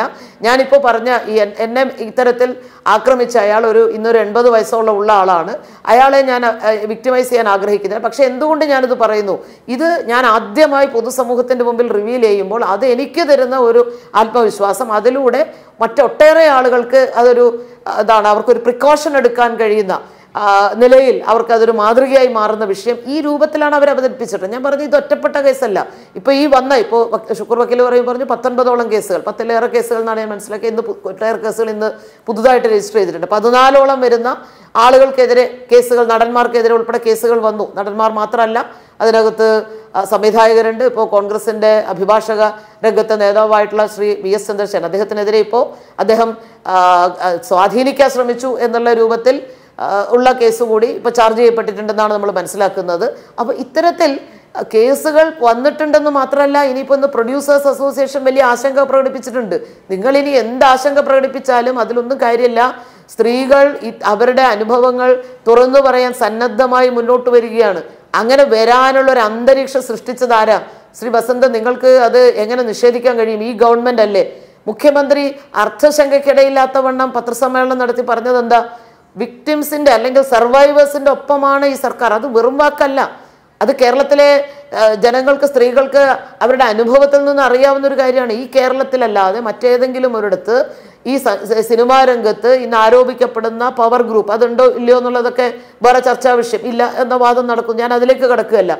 പക്ഷേ അത്തരത്തിൽ വളരെ സ്വാധീനമുള്ള ഒരാളുടെ മേൽ ആരോപണം വന്നപ്പോൾ അയാളെ അറസ്റ്റ് ചെയ്യാൻ ജയിലിലിടാൻ തയ്യാറായിട്ടുള്ള ഒരു ഒരു ഗവൺമെന്റാണിത് ഒരു ചെറിയ കാര്യമല്ല. അപ്പോൾ വളരെ വിശ്വാസത്തോടു കൂടി തന്നെയാണ് ഈ സർക്കാരിന്റെ നടപടികളെ തീർച്ചയായും പൊതുസമൂഹവും സ്ത്രീകളും ഉൾപ്പെടെയുള്ളവർ കാണുന്നത്. അതുകൊണ്ട് തന്നെയാണ് അവർ ഇത്തരത്തിൽ മുന്നോട്ട് വരുന്നത്. അതുകൊണ്ട് ഗവൺമെന്റിൽ വിശ്വാസമില്ലാത്ത ഒരു അന്തരീക്ഷം ഉണ്ടായി എന്ന് പറയുന്നതിൽ ഒരർത്ഥവുമില്ല. ഇനി രണ്ടാമത് താങ്കൾ ചോദിച്ച ചോദ്യത്തിലേക്ക് വരാം.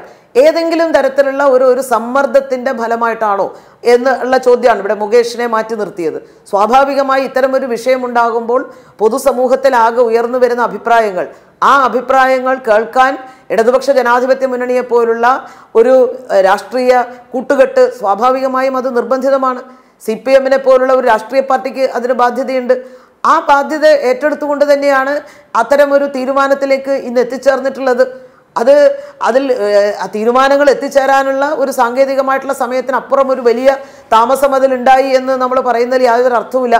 അക്കാര്യത്തിൽ പാർട്ടിയുടെ സംസ്ഥാന സെക്രട്ടറിയും മുഖ്യമന്ത്രി ഉൾപ്പെടെയുള്ള ആളുകൾ ചൂണ്ടിക്കാണിച്ചൊരു വിഷയമുണ്ട്. എന്താ പറഞ്ഞിട്ടുള്ളത്?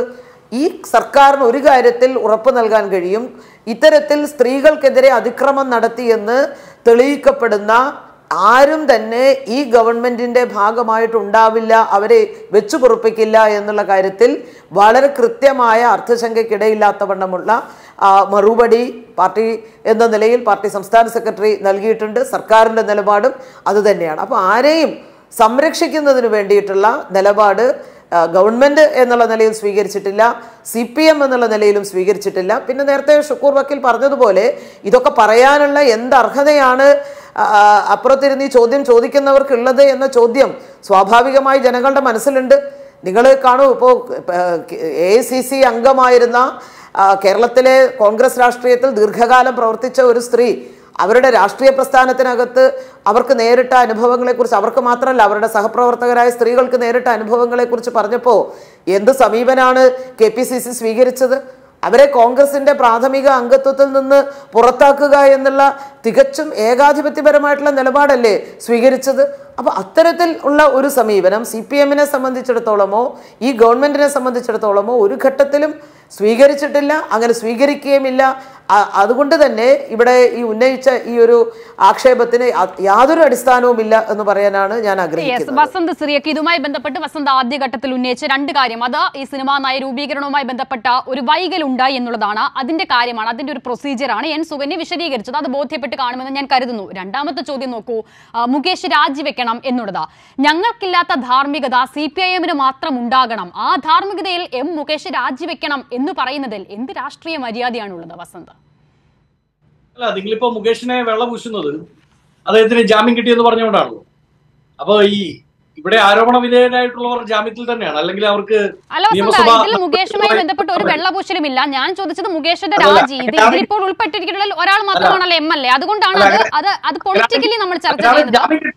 അല്ല വസന്ത് ഒരിക്കലുമല്ല ഒരിക്കലുമല്ല ഒരിക്കലുമല്ല വസന്ത അതിലൊരു വ്യക്തത പറയണം ഇല്ലെങ്കിൽ നാളെ മുകേഷിന്റെ വാദം വെച്ച് നമ്മൾ അതിനെ ന്യായീകരിക്കുന്ന എന്നൊരു തോന്നൽ ഉണ്ടാകും അങ്ങനെയല്ല മുകേഷിന്റെ കാര്യത്തിലല്ല കുറ്റാരോപിതരായ എല്ലാവരുടെയും കാര്യത്തിൽ ഒരേ നിലപാട് മാത്രമേ ഉള്ളൂ. അത് സ്ത്രീപക്ഷ നിലപാടാണ്. ഒരു സംശയവുമില്ല. പക്ഷെ അതിൽ ചോദ്യം ഒരു മിനിറ്റ് വസന്ത ഞാൻ ഒന്ന് പൂർത്തീകരിച്ചോട്ടെ. അത് അത് അത് നമ്മുടെ കൂടി ക്രെഡിബിലിറ്റിയുടെ പ്രശ്നമാണ്. അതുകൊണ്ടാണ്. അതിലെ ചോദ്യം ഇപ്പോൾ വസന്ത് അതിൽ മുകേഷിന്റെ രാജി ആവശ്യപ്പെടുമ്പോൾ വസന്ത് തന്നെ പറഞ്ഞല്ലോ കഴിഞ്ഞ ചർച്ചയിൽ നമ്മൾ സ്വീകരിച്ച നിലപാട് അതിൽ നിന്നും അണുവിട മാറിയിട്ടില്ല അവിടെ തന്നെയാണ്. പക്ഷേ അങ്ങനെ പറയുമ്പോൾ അത് ധാർമ്മികതയാണ് കോൺഗ്രസ് ഉന്നയിക്കുന്നത്. അപ്പോൾ ആ ധാർമ്മികത സി പി ഐ എമ്മിന് മാത്രം ഉണ്ടാകണം എന്ന് പറയുന്നതിൽ ഒരു മര്യാദ കേടില്ലേ രാഷ്ട്രീയമായി എന്നുള്ളതാണ് ചോദ്യം. അതാണ് ഞാൻ പറഞ്ഞത്. അതായത് ജാമ്യം കിട്ടിയവരെല്ലാം വിശുദ്ധ പശുക്കളാണെങ്കിൽ എല്ലാവരും വിശുദ്ധ പശുക്കളായിരുന്നു അല്ലാതെ ജാമ്യം മാറ്റി നിർത്തൂ. ജാമ്യം ജാമ്യം പരിഗണിക്കണ്ട. ഈ ചർച്ചയിൽ ഷുക്കൂർ വക്കീലും ഈ പറയുന്ന നമ്മുടെ സുഗന്യ സുകന്യ പ്രിയപ്പെട്ട സുകന്യ അടക്കമുള്ളവർ പറഞ്ഞത് മുകേഷ് ജാമ്യം കിട്ടി. ഇനി അന്വേഷണം നടക്കട്ടെ എന്നുള്ളതാണ്. പ്രതിപക്ഷത്തെ രണ്ട് എം എൽ എമാർക്കെതിരെ ഇത്ര വലിയ ഗുരുതരമായ ആരോപണം വന്നിട്ട് നിങ്ങളുടെ പോലീസിനെ അറസ്റ്റ് ചെയ്യാൻ പറ്റും നിങ്ങളുടെ പോലീസ് അതുമായിട്ട് മുമ്പോട്ട് പോട്ടെന്നേ. ഒന്ന് രണ്ട് രണ്ട്. അല്ല അല്ല വസന്ത് ഞാൻ ചോദിക്കുന്നത് അതല്ല. ഇതേ ഇതേ സാഹചര്യം. തന്നെയായിരുന്നു അവിടെയും. പിന്നെ രണ്ടാമത്തെ ഒരു കാര്യം. ഇവർ രണ്ടുപേരും ഷുക്കുൽ വക്കീലായാലും സുഗന്യ ആയാലും ആ കാര്യത്തെ അങ്ങനെ കണ്ടിട്ടില്ല. മാത്രമല്ല ശ്രീ ഷുക്കൂർ ഞാൻ ചോദിച്ച ചോദ്യത്തിന് അതിന് അങ്ങനെ ഒരു സാധ്യതയില്ല എന്നുള്ളത് അടിവരെ ഇടുക കൂടി ചെയ്തിട്ടുണ്ട്. അതവിടെ നിൽക്കട്ടെ. രണ്ട് അതിൽ നിന്ന് പൂർണമായി പോകാൻ കഴിയില്ലാത്തത് കൊണ്ടാണ് വസന്ത്. നോക്കൂ കേസ് എടുത്തിട്ടുണ്ടോ ജയിലിൽ കിടന്നിട്ടുണ്ടോ എന്നുള്ളതൊക്കെ രണ്ടാമത്തെ കാര്യമാണ്. ഇവിടെ ധാർമ്മികത ലൈംഗിക ആരോപണം നേരിടുന്ന ഒരു എം എൽ എ രാജിവെക്കണം എന്നുള്ളത് ധാർമ്മികതയാണെങ്കിൽ അതേ ധാർമ്മികത ഇവിടുത്തെ എല്ലാ രാഷ്ട്രീയ കക്ഷിക്കും ഉണ്ടാകണം എന്നുള്ളതാണ്. അല്ലാതെ ആ ധാർമ്മികതയെ പറ്റിയാണ് പറയുന്നത്. കേക്കൂ. ശ്രീ സുകന്യ പറഞ്ഞത് എന്താണ്? ഇവിടുത്തെ ഒരു സർക്കാരുണ്ട്. ആ സർക്കാരിൽ സ്ത്രീ ജനങ്ങൾക്ക് വിശ്വാസമുണ്ട് എന്നാണ്. ഇപ്പോ കോൺഗ്രസ് എം എൽ എമാർക്കെതിരായിട്ടുള്ള ആരോപണമാണ് അങ്ങ് പറയുന്നത്. അവർക്ക് പാർട്ടി സീറ്റ് കൊടുക്കുന്നതിന് മുമ്പ് അങ്ങനെ ഒരു ആരോപണമില്ല. പക്ഷേ ശ്രീ മുകേഷിന്റെ കാര്യത്തിലും ഞാൻ നേരത്തെ സൂചിപ്പിച്ച ഗണേഷ് കുമാറിന്റെ കാര്യത്തിലും അതല്ല അവസ്ഥ. മുകേഷിന്റെ ആദ്യ ഭാര്യ അവർ പ്രഗ്നൻസി പീരീഡിലായിരുന്നപ്പോൾ ഇദ്ദേഹം നടത്തിയ അതിക്രൂരമായ പീഡനങ്ങളെ പറ്റി തുറന്നു പറയുന്ന സമയത്ത് അദ്ദേഹം സി പി എമ്മിന്റെ എം എൽ എ അല്ല. അദ്ദേഹത്തിന് ഈ പാർട്ടി സീറ്റ് കൊടുത്തിട്ടില്ല. അതായത് അതിക്രൂരനായ ഒരു സ്ത്രീ പീഡകനാണ് എന്ന് പൊതുസമൂഹത്തിന്റെ മുമ്പിൽ തെളിവടക്കം നിൽക്കുമ്പോൾ അദ്ദേഹത്തിന്റെ മുൻ ഭാര്യ അത് പച്ചയ്ക്ക് വിളിച്ചു പറഞ്ഞപ്പോ അവരത് റിവീൽ ചെയ്തിട്ട് ആ സാഹചര്യം നിലനിൽക്കുമ്പോഴും മുകേഷിന് സീറ്റ് കൊടുത്തവരാണ് നിങ്ങൾ. അതുകൊണ്ട് സുകന്യ അതുകൊണ്ട് വലിയ സ്ത്രീ സംരക്ഷണത്തിന്റെ കഥ പറയരുത്. രണ്ട് ഈ പറയപ്പെടുന്ന ആരാണ്? നിങ്ങളുടെ മന്ത്രി. ആരാണ്? ഗണേഷ് കുമാർ. ഗണേഷ് കുമാറിനെതിരെ ഒരു ഭാര്യയല്ല. അദ്ദേഹത്തിന്റെ വിവിധ ഭാര്യമാർ. ഞാൻ വിത്ത് ഓൾ പൊളിറ്റിക്കൽ റെസ്പോൺസിബിലിറ്റി അദ്ദേഹത്തിന്റെ വിവിധ ഭാര്യമാർ. അദ്ദേഹത്തിനെതിരെ പല ഘട്ടങ്ങളിൽ ആരോപണം ഉന്നയിച്ചിട്ടുണ്ട്. സ്ത്രീ പീഡനം അടക്കം ഡൊമസ്റ്റിക് വയലൻസ് അടക്കമുള്ള വിവിധ ആരോപണങ്ങൾ നിലനിൽക്കുമ്പോഴാണ് ഗണേഷ് കുമാറിനെ നിങ്ങൾ മന്ത്രിയാക്കുന്നത്. അപ്പൊ ഞാൻ പറഞ്ഞതിന്റെ അത് ക്ലിയർ ഉണ്ടല്ലോ ക്ലിയർ ക്ലിയർ ആണല്ലോ. ഇനി എൻ സി ആർ ബിയുടെ കണക്കുണ്ട്. എൻ സി ആർ ബിയുടെ കണക്ക് പ്രകാരം വർദ്ധിച്ചു വരുന്ന സ്ത്രീ പീഡനങ്ങളിൽ എത്രാമതാണ് കേരളത്തിന് സ്ഥാനം സ്ഥാനമെന്ന് സുഖനിക്ക് അറിയാമോ? അത് പഞ്ചാബിനും രണ്ടോ മൂന്നോ സ്റ്റെപ്പ് തൊട്ട് താഴെ മാത്രമാണ് കേട്ടോ. ഈ തിരുവനന്തപുരത്താണ് മൂന്ന് മാസം മുമ്പ് ആറു മാസം മുമ്പ് ഒരു പാവപ്പെട്ട സ്ത്രീയെ ബൈക്കിൽ വന്ന് മുടിക്ക് പിടിച്ച് വലിച്ചടച്ചുകൊണ്ട് റോഡിലൂടെ പോയത്. അനുദിനം വർദ്ധിച്ചു വരുന്ന സ്ത്രീ പീഡനങ്ങളുടെ നാടായി കേരളം മാറിയിട്ടുണ്ട്. അത് തന്നെയാണ് ഇന്ന് അൻവർ പറഞ്ഞത്. ആഭ്യന്തര വകുപ്പ് അമ്പേ പരാജയമാണ്. വസന്ത് ഉന്നയിക്കുന്നത് ഗൗരവതരമായ വിഷയം തന്നെയാണ്. ഇപ്പോൾ ഞാൻ ചോദിക്കുന്നത് ഒരു ആരോപണം നിലനിൽക്കെ മുകേഷിന് C P I M seat കൊടുത്തു. അവിടെ ആ- ആ സീറ്റ് കൊടുക്കുമ്പോൾ തന്നെ മുകേഷിനെതിരെ അങ്ങനെ ഒരു ആരോപണമുണ്ട്. എന്താണ് വസന്ത് ഞാൻ കേട്ടില്ല. ഞാൻ ചോദ്യം പൂർത്തിയാക്കിക്കോട്ടെ. അപ്പോൾ അങ്ങനെ ഒരു ആരോപണമുണ്ട്.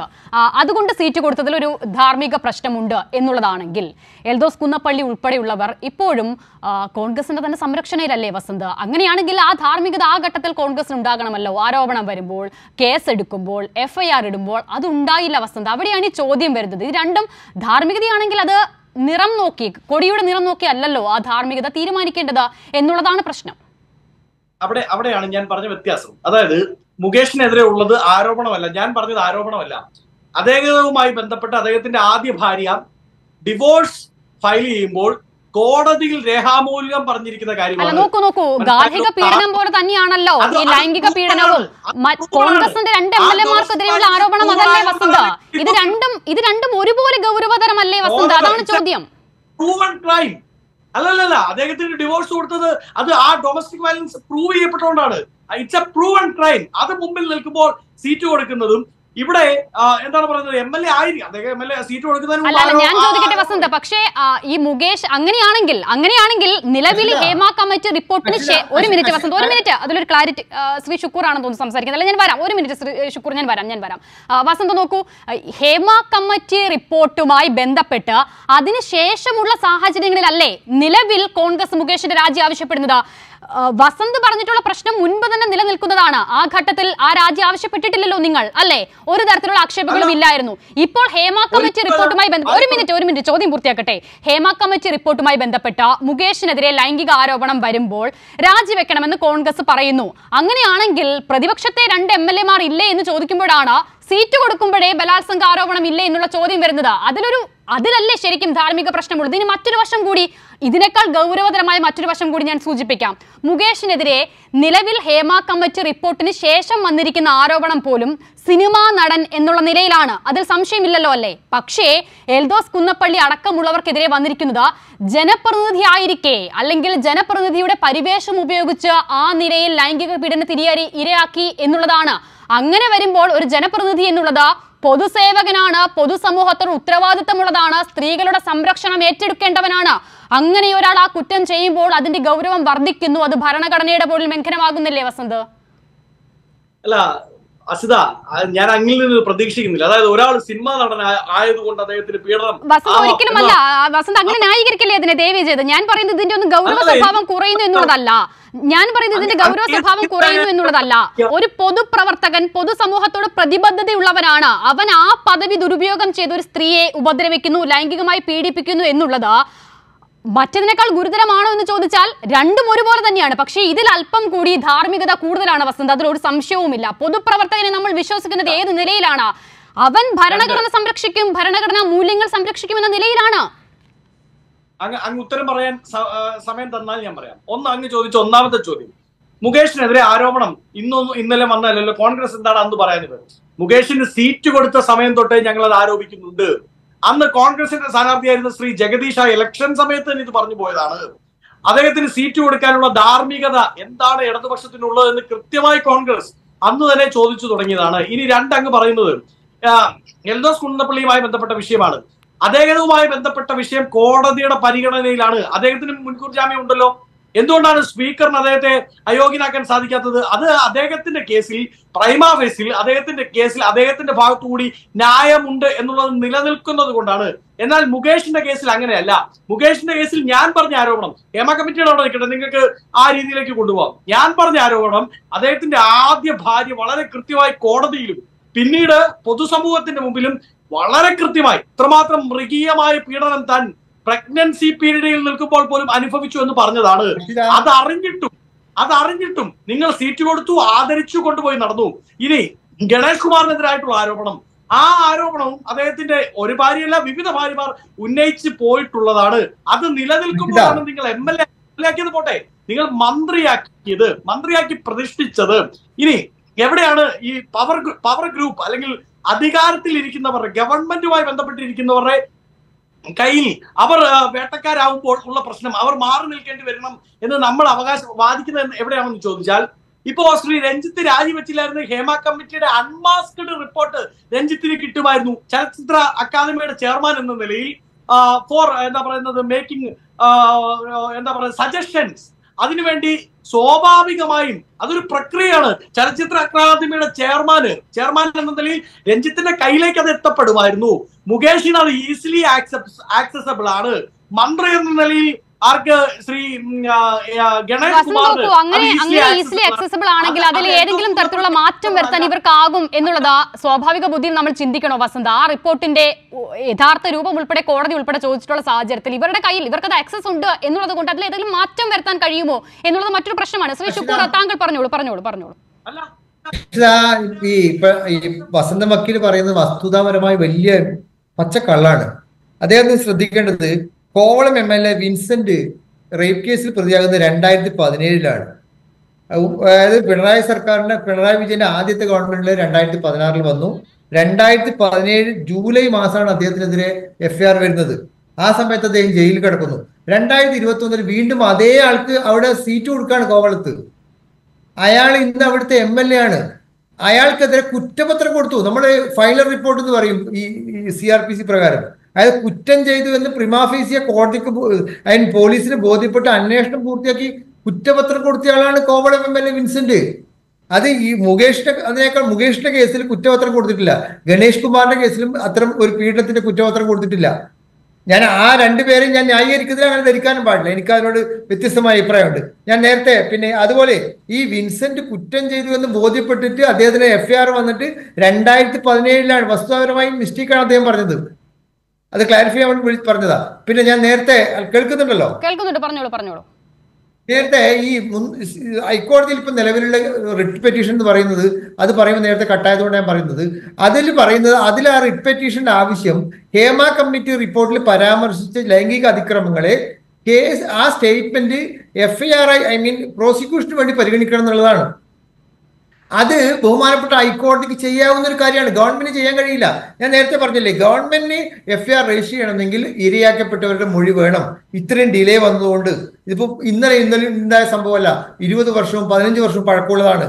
ആ ബഹുമാനപ്പെട്ട ഹൈക്കോടതി ത്രീ ടു ട്വന്റി സിക്സ് ഈ കോൺസ്റ്റിറ്റ്യൂഷനിലെ ഇരുന്നൂറ്റി ഇരുപത്തി ആറ് അനുച്ഛേദം വഴി ആ ഹൈക്കോടതിക്കുള്ള പ്രത്യേക അധികാരം പരിഗണിച്ചിട്ട് ആ അധികാരം വെച്ച് ഗവൺമെന്റിനോട് ഓരോ ഇൻസിഡന്റ് ഏമ കമ്മിറ്റി മുമ്പാകെ മൊഴി നൽകിയ ഓരോരുത്തരുടെയും മൊഴി പ്രത്യേകം പ്രത്യേകം പരിഗണിച്ച് ആ ഏത് പോലീസ് സ്റ്റേഷന്റെ പരിധിയിൽ എപ്പോൾ എവിടെ വെച്ച് ആര് അതിന് കൃത്യമായി ഉത്തരമുണ്ടെങ്കിൽ അവരുടെ പേര് വെളിപ്പെടുത്തിയിട്ടുണ്ടെങ്കിൽ അവർക്കെതിരെ എഫ്ഐആർ രജിസ്റ്റർ ചെയ്യാൻ ഹൈക്കോടതി പറഞ്ഞാൽ സ്റ്റേറ്റ് ഗവൺമെന്റ് ആഭ്യന്തര വകുപ്പിന് ഐ മീൻ പോലീസിന് എഫ്ഐആർ രജിസ്റ്റർ ചെയ്യാൻ കഴിയും. അത് വലിയൊരു സാധ്യതയാണ്. അതിലേക്ക് തുറക്കേണ്ടത് ഹൈക്കോടതി ജഡ്ജിമാരുടെ മനോനില എന്താണ്?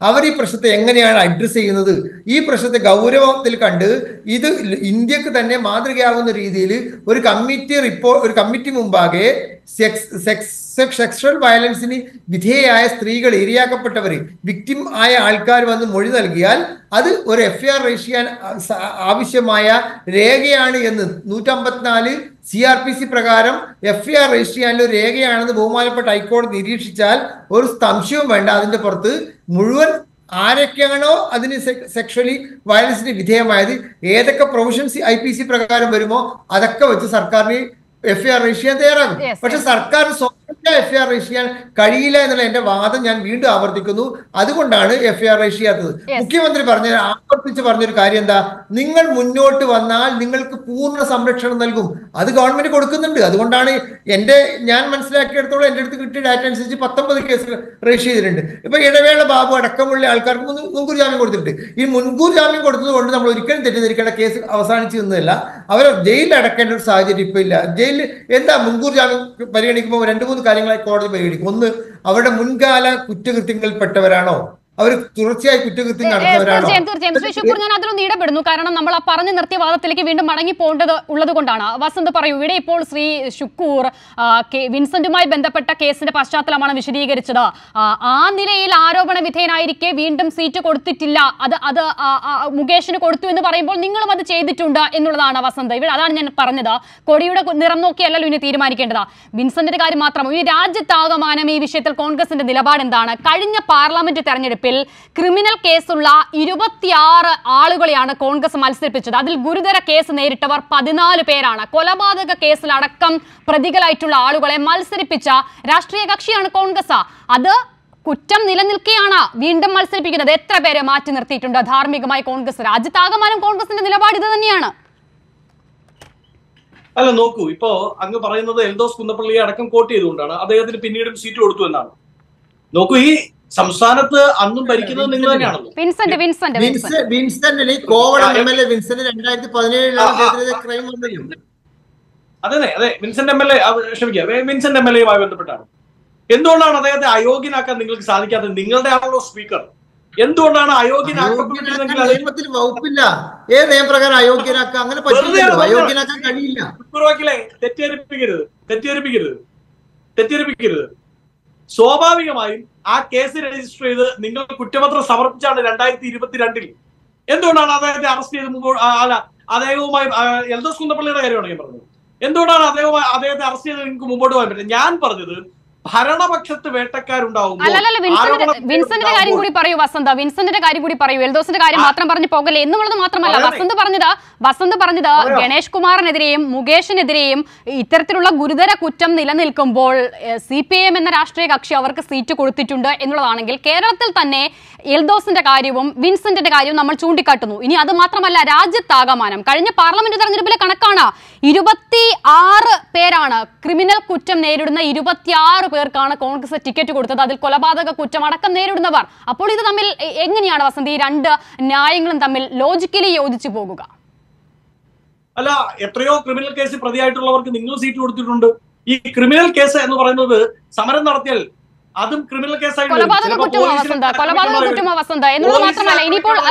മാത്രമല്ല വസന്ത. ശരി ശരി അങ്ങനെയാണെങ്കിൽ. വിൻസെന്റിന്റെ കാര്യം പറയൂ. ഇവിടെ ഒരിക്കലും. വിൻസെന്റിന്റെ കാര്യം ആവർത്തിച്ച് ചോദിക്കുമ്പോൾ എൽദോസിന്റെ മാത്രം കാര്യം പറഞ്ഞ് വസന്ത് ഇങ്ങനെ അങ്ങ് പോകുകയാണല്ലോ ഇല്ലെന്നേ എം വിൻസെന്റിന്റെ ആരോപണത്തിൽ ഈ പറയപ്പെടുന്ന ആരോപണ വിധേയുടെ സഹോദരി തന്നെ എം വിൻസെന്റിനെ സപ്പോർട്ട് ചെയ്ത് വന്നിട്ടുണ്ട്. ആ കേസുമായി ബന്ധപ്പെട്ട് ഒരു വലിയ വലിയ സീൻ സീൻ ഓഫ് ഒക്കുറൻസുകൾ ഹാപ്പൻ ചെയ്തിട്ടുണ്ട്. അതുമായി ബന്ധപ്പെട്ട് സാക്ഷികളുടെ നിലപാട് എന്താണ്? അപ്പൊ ആ ആ കേസ് ഇവിടെ വസന്ത് ഇവിടെ അതൊന്നുമില്ല. അതൊന്നും ഇല്ല. എന്നിട്ട് പോലും അതായത് അത്ര ഗുരുതരമായ ഒരു ഈ കേസിന്റെ കേസുമായി ബന്ധപ്പെട്ട കാര്യങ്ങൾ തുടങ്ങിയിട്ടേ ഉള്ളൂ അവിടെ മുകേഷിന് മുകേഷിന് അദ്ദേഹത്തിന് അത് അദ്ദേഹവുമായി ബന്ധപ്പെട്ട കാര്യങ്ങൾ പ്രൂവ് ചെയ്യാനുള്ള സാധ്യത. അതിനെ കുറിച്ചാണല്ലോ അവർ അന്വേഷിക്കുന്നത്. അപ്പോൾ ആ ഘട്ടത്തിൽ രാജ്യ ശരിയാണ്. അതായത് അതിൽ വസന്ത് പറയുന്നതിൽ ധാർമ്മിക പ്രശ്നമുണ്ട്. ആ ധാർമ്മികത മറുപക്ഷത്തും ഉണ്ടാകണം എന്നുള്ളത് മാത്രമാണ് വസന്ത് അതിലെ വാദം. അത് മാത്രമാണ് ഈ ആവർത്തിച്ച് പറയാൻ ശ്രമിക്കുന്നത്. അസിത മുകേഷിനെതിരായി ഞാൻ പറഞ്ഞ ആരോപണം പ്രൂവണാണ് വീണ്ടും വീണ്ടും പറയുന്നത് അത് പ്രൂവണാണ് അതായിരുന്നു അവർ ഡിവോഴ്സ് കേസ് ഫയൽ ചെയ്യുമ്പോൾ അവരുടെ ആദ്യ ഭാര്യ വിൻസെന്റിന്റെ കാര്യത്തിൽ അത് പ്രൂവൺ അല്ല എന്നുള്ളതാണോ വസന്തിന്റെ വാദം? ശരി ഞാൻ വരാം. എൻ സുകന്യ പറയൂ. എൻ സുകന്യ അതിനൊരു മറുപടി പറയൂ. അങ്ങനെ അങ്ങനെ ആ നിലയിൽ ആരോപണം നിലനിൽക്കെ C P I M seat കൊടുത്തിട്ടുണ്ട്. പക്ഷെ കോൺഗ്രസ് അത് ചെയ്തിട്ടില്ല എന്നുള്ളതാണ് പറയുന്നത്. ഞാൻ അതിനു മുമ്പ് ഒരു ഒരു ചെറിയ കണക്ക് ഒന്ന് സൂചിപ്പിക്കാൻ ആഗ്രഹിക്കുകയാണ്. നമ്മുടെ രാജ്യത്തെ ഇരുപത്തിയെട്ട് സംസ്ഥാനങ്ങളിലും അതുപോലെ എട്ട് യൂണിയൻ ടെറിട്ടറികളിലുമായിട്ട് കഴിഞ്ഞ അഞ്ച് വർഷക്കാലത്തിനിടയിൽ നടത്തിയ ഒരു പഠനം association for democratic reforms and national election watch എന്ന് പറയുന്ന സ്വതന്ത്ര സംഘടന നടത്തിയ പഠനമാണ്. അതിൽ അവർ കണ്ടെത്തിയിരിക്കുന്നത് സ്ത്രീകൾക്കെതിരെ അതിക്രമം നടത്തിയ മറ്റ് അതിക്രമങ്ങളെല്ലാം നമുക്ക് മാറ്റി നിർത്താം. സ്ത്രീകൾക്കെതിരെ അതിക്രമം നടത്തിയ എം പിമാരും എം എൽ എമാരും ചേർന്ന് നൂറ്റി അൻപത്തി ഒന്ന് പേർ ഉണ്ട്. അതിൽ ശിക്ഷിക്കപ്പെട്ടവരായിട്ടുള്ള ആളുകൾ എന്നാണ് കണ്ടെത്തിയിരിക്കുന്നത്. പശ്ചിമ ബംഗാളിലാണ് ഏറ്റവും കൂടുതൽ കേസ് എന്നെല്ലാം പറയുന്നുണ്ട്. ആ റിപ്പോർട്ടിനകത്ത് വളരെ കൃത്യമായി പറയുന്നുണ്ട്. ഇതിൽ ഏറ്റവും കൂടുതൽ ബി ജെ പിയുടെ അൻപത്തിനാല് പേരാണ് ഇത് ഇത്തരത്തിൽ കേസ് രജിസ്റ്റർ ചെയ്യപ്പെട്ടവരായിട്ടുള്ളത്. ബി ജെ പിയുടെ ജനപ്രതിനിധികൾ. തൊട്ടു പുറകിൽ വരുന്നത് കോൺഗ്രസ് ആണ് ഇരുപത്തി മൂന്ന് പേർ കോൺഗ്രസിന്റെ ജനപ്രതിനിധികളായിട്ടുള്ളവർ സ്ത്രീകൾക്കെതിരെയുള്ള അതിക്രമ കേസുകളിൽ കേസ് രജിസ്റ്റർ ചെയ്യപ്പെട്ടവരായിട്ടുള്ളതുണ്ട്. നമുക്ക് ഒരുപാട് പഴയ കാലത്തേക്കൊന്നും പോകാൻ നമുക്കറിയാം. ഇവിടെ തന്തൂരി അടുപ്പിൽ വെച്ച് ചുട്ടുകൊന്ന അനുഭവം മുതൽക്കുള്ള ഒരുപാട് പഴയ കഥകൾ. ഏത് തരത്തിലാണ് കോൺഗ്രസ് കോൺഗ്രസിനകത്ത് തന്നെ എന്തിനധികം പോകണം? ഇവിടെ നിലമ്പൂരിലടക്കം ഉണ്ടായ സംഭവമൊക്കെ ഈ കേരളീയ സമൂഹത്തിനകത്ത് ചർച്ച ചെയ്താണല്ലോ. കോൺഗ്രസിന്റെ ഓഫീസിനകത്ത് വെച്ച് തന്നെ ഒരു സ്ത്രീ ദാരുണമായി കൊല ചെയ്യപ്പെട്ട സംഭവം ഉൾപ്പെടെ. അപ്പോൾ അത്തരത്തിലുള്ള ഒട്ടേറെ സംര സംഭവങ്ങൾ ജനപ്രതിനിധികളായ ആളുകൾ ഉൾപ്പെടെയുള്ള ആളുകളുടെ നേരെ ഉയർന്നു വന്നിട്ടുണ്ട്. നിങ്ങൾ ശ്രദ്ധിക്കുക ഇതിലൊന്നും തന്നെ സി പി എമ്മിന്റെയോ ഇടതുപക്ഷത്തിന്റെയോ ഒരു ജനപ്രതിനിധി പോലും ഉൾപ്പെട്ടിട്ടില്ല എന്നുള്ള വസ്തുത കൂടി നിങ്ങൾ കാണേണ്ടതുണ്ട്.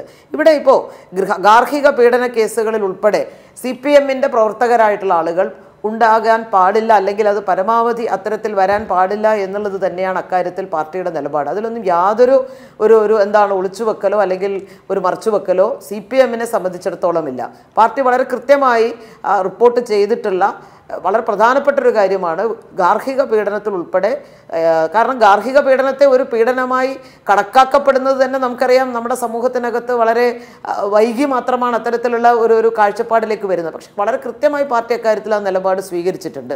പക്ഷേ ഇവിടെ അദ്ദേഹം സംസാരിക്കുന്നത് കേൾക്കുമ്പോൾ തോന്നുന്നത് ഈ കേസിൽ എന്തോ മുകേഷ് ഞാൻ മുകേഷിനെ ഒരു തരത്തിലും അതിലൊന്നും ന്യായീകരിച്ചുകൊണ്ട് ഞാൻ പറയാൻ അങ്ങനെ പറയാൻ ആഗ്രഹിക്കുന്ന ഒരാളും അല്ല ഞാൻ.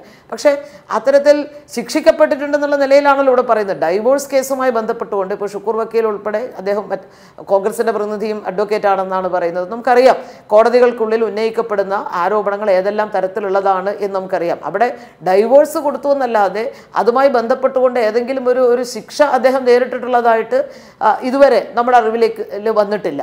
പക്ഷേ പൊതുസമൂഹത്തിൽ പൊതുപ്രവർത്തന രംഗത്തേക്ക് വരുന്ന ആളുകൾ പരമാവധി കളങ്കിതമായിട്ടുള്ള വ്യക്തിത്വങ്ങളാകരുത് എന്നുള്ള കാര്യത്തിൽ യാതൊരു സംശയവുമില്ല. അത് പാലിക്കാനുള്ള ബാധ്യത strada എല്ലാ രാഷ്ട്രീയ പാർട്ടികൾക്കും ഉണ്ട് എന്നുള്ളത് നമ്മൾ കാണേണ്ടതുണ്ട്. സി പി എമ്മിനെ സംബന്ധിച്ചിടത്തോളം അതിൽ വളരെയധികം ശ്രദ്ധ ചെലുത്തിക്കൊണ്ട്. പക്ഷെ സി പി എമ്മിന്റെ പ്രവർത്തകരായിട്ടുള്ള ആളുകൾ അല്ലെങ്കിൽ സി പി എമ്മിന്റെ ജനപ്രതിനിധികളായിട്ട് വരുന്ന ആളുകൾ ഉൾപ്പെടെയുള്ളവർ ഇന്നത്തെ ഈ സമൂഹത്തിന്റെ ഭാഗമെന്നുള്ള നിലയിൽ പെശകുകളില്ലാത്തവരാണ് പൂർണമായിട്ട് എല്ലാവരും എന്നൊന്നും ഞാൻ പറയില്ല.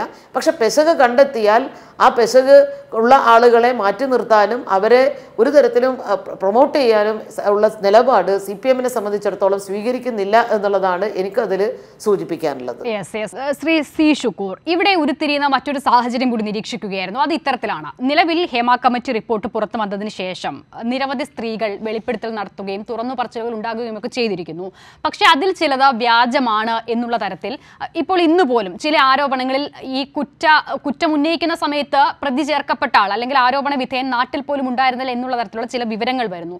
നോക്കൂ ഇത്തരത്തിൽ ചില സ്ത്രീകൾ ആദ്യഘട്ടം മുതൽ തന്നെ രംഗത്ത് വരുമ്പോൾ അതൊരു പബ്ലിസിറ്റി സ്റ്റണ്ടാണ് എന്നുള്ള നിലയിലുള്ള ആരോപണങ്ങൾ അപ്പോൾ തന്നെ ഉണ്ടായിരുന്നു. അവിടെയാണ് ഇപ്പോൾ ഡബ്ല്യു സി സി ഉൾപ്പെടെ അല്ലെങ്കിൽ ആ നിലയിൽ നമ്മൾ പ്രമുഖർ എന്ന് വിശേഷിപ്പിക്കുന്ന ഒരാളും ഹേമ കമ്മിറ്റിക്ക് മുന്നിൽ മൊഴി നൽകിയിട്ടുള്ള ആളുകൾ പോലും പൊതുസമൂഹത്തിൽ ഇത് പറയാനോ ആ നിലയിലുള്ള ഇടപെടൽ നടത്താനോ തയ്യാറായിട്ടില്ല. അവിടെ ഈ തുറന്നു പറയുന്ന ആളുകളുടെ വിശ്വാസ്യതയെ ക്രെഡിബിലിറ്റിയെ തകർക്കാൻ ഇത് കാരണമാകുകയും അങ്ങനെ ആകെ മൊത്തവും ഇതൊരു പുകമുറയ്ക്കുള്ളിൽ നിർത്താനുള്ള ശ്രമങ്ങൾ ഉണ്ടാകുകയും ചെയ്യുന്നുണ്ടോ?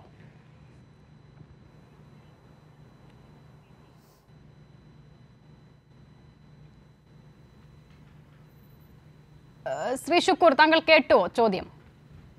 ഇല്ല കേട്ടില്ല. ബ്രേക്ക് ആയി. അതായത് ഞാൻ ചോദിക്കാൻ ശ്രമിച്ചത് നോക്കൂ ഇവിടെ ഇപ്പോൾ ചില സ്ത്രീകൾ തുറന്നു പറച്ചിലുകൾ നടത്തുന്നു.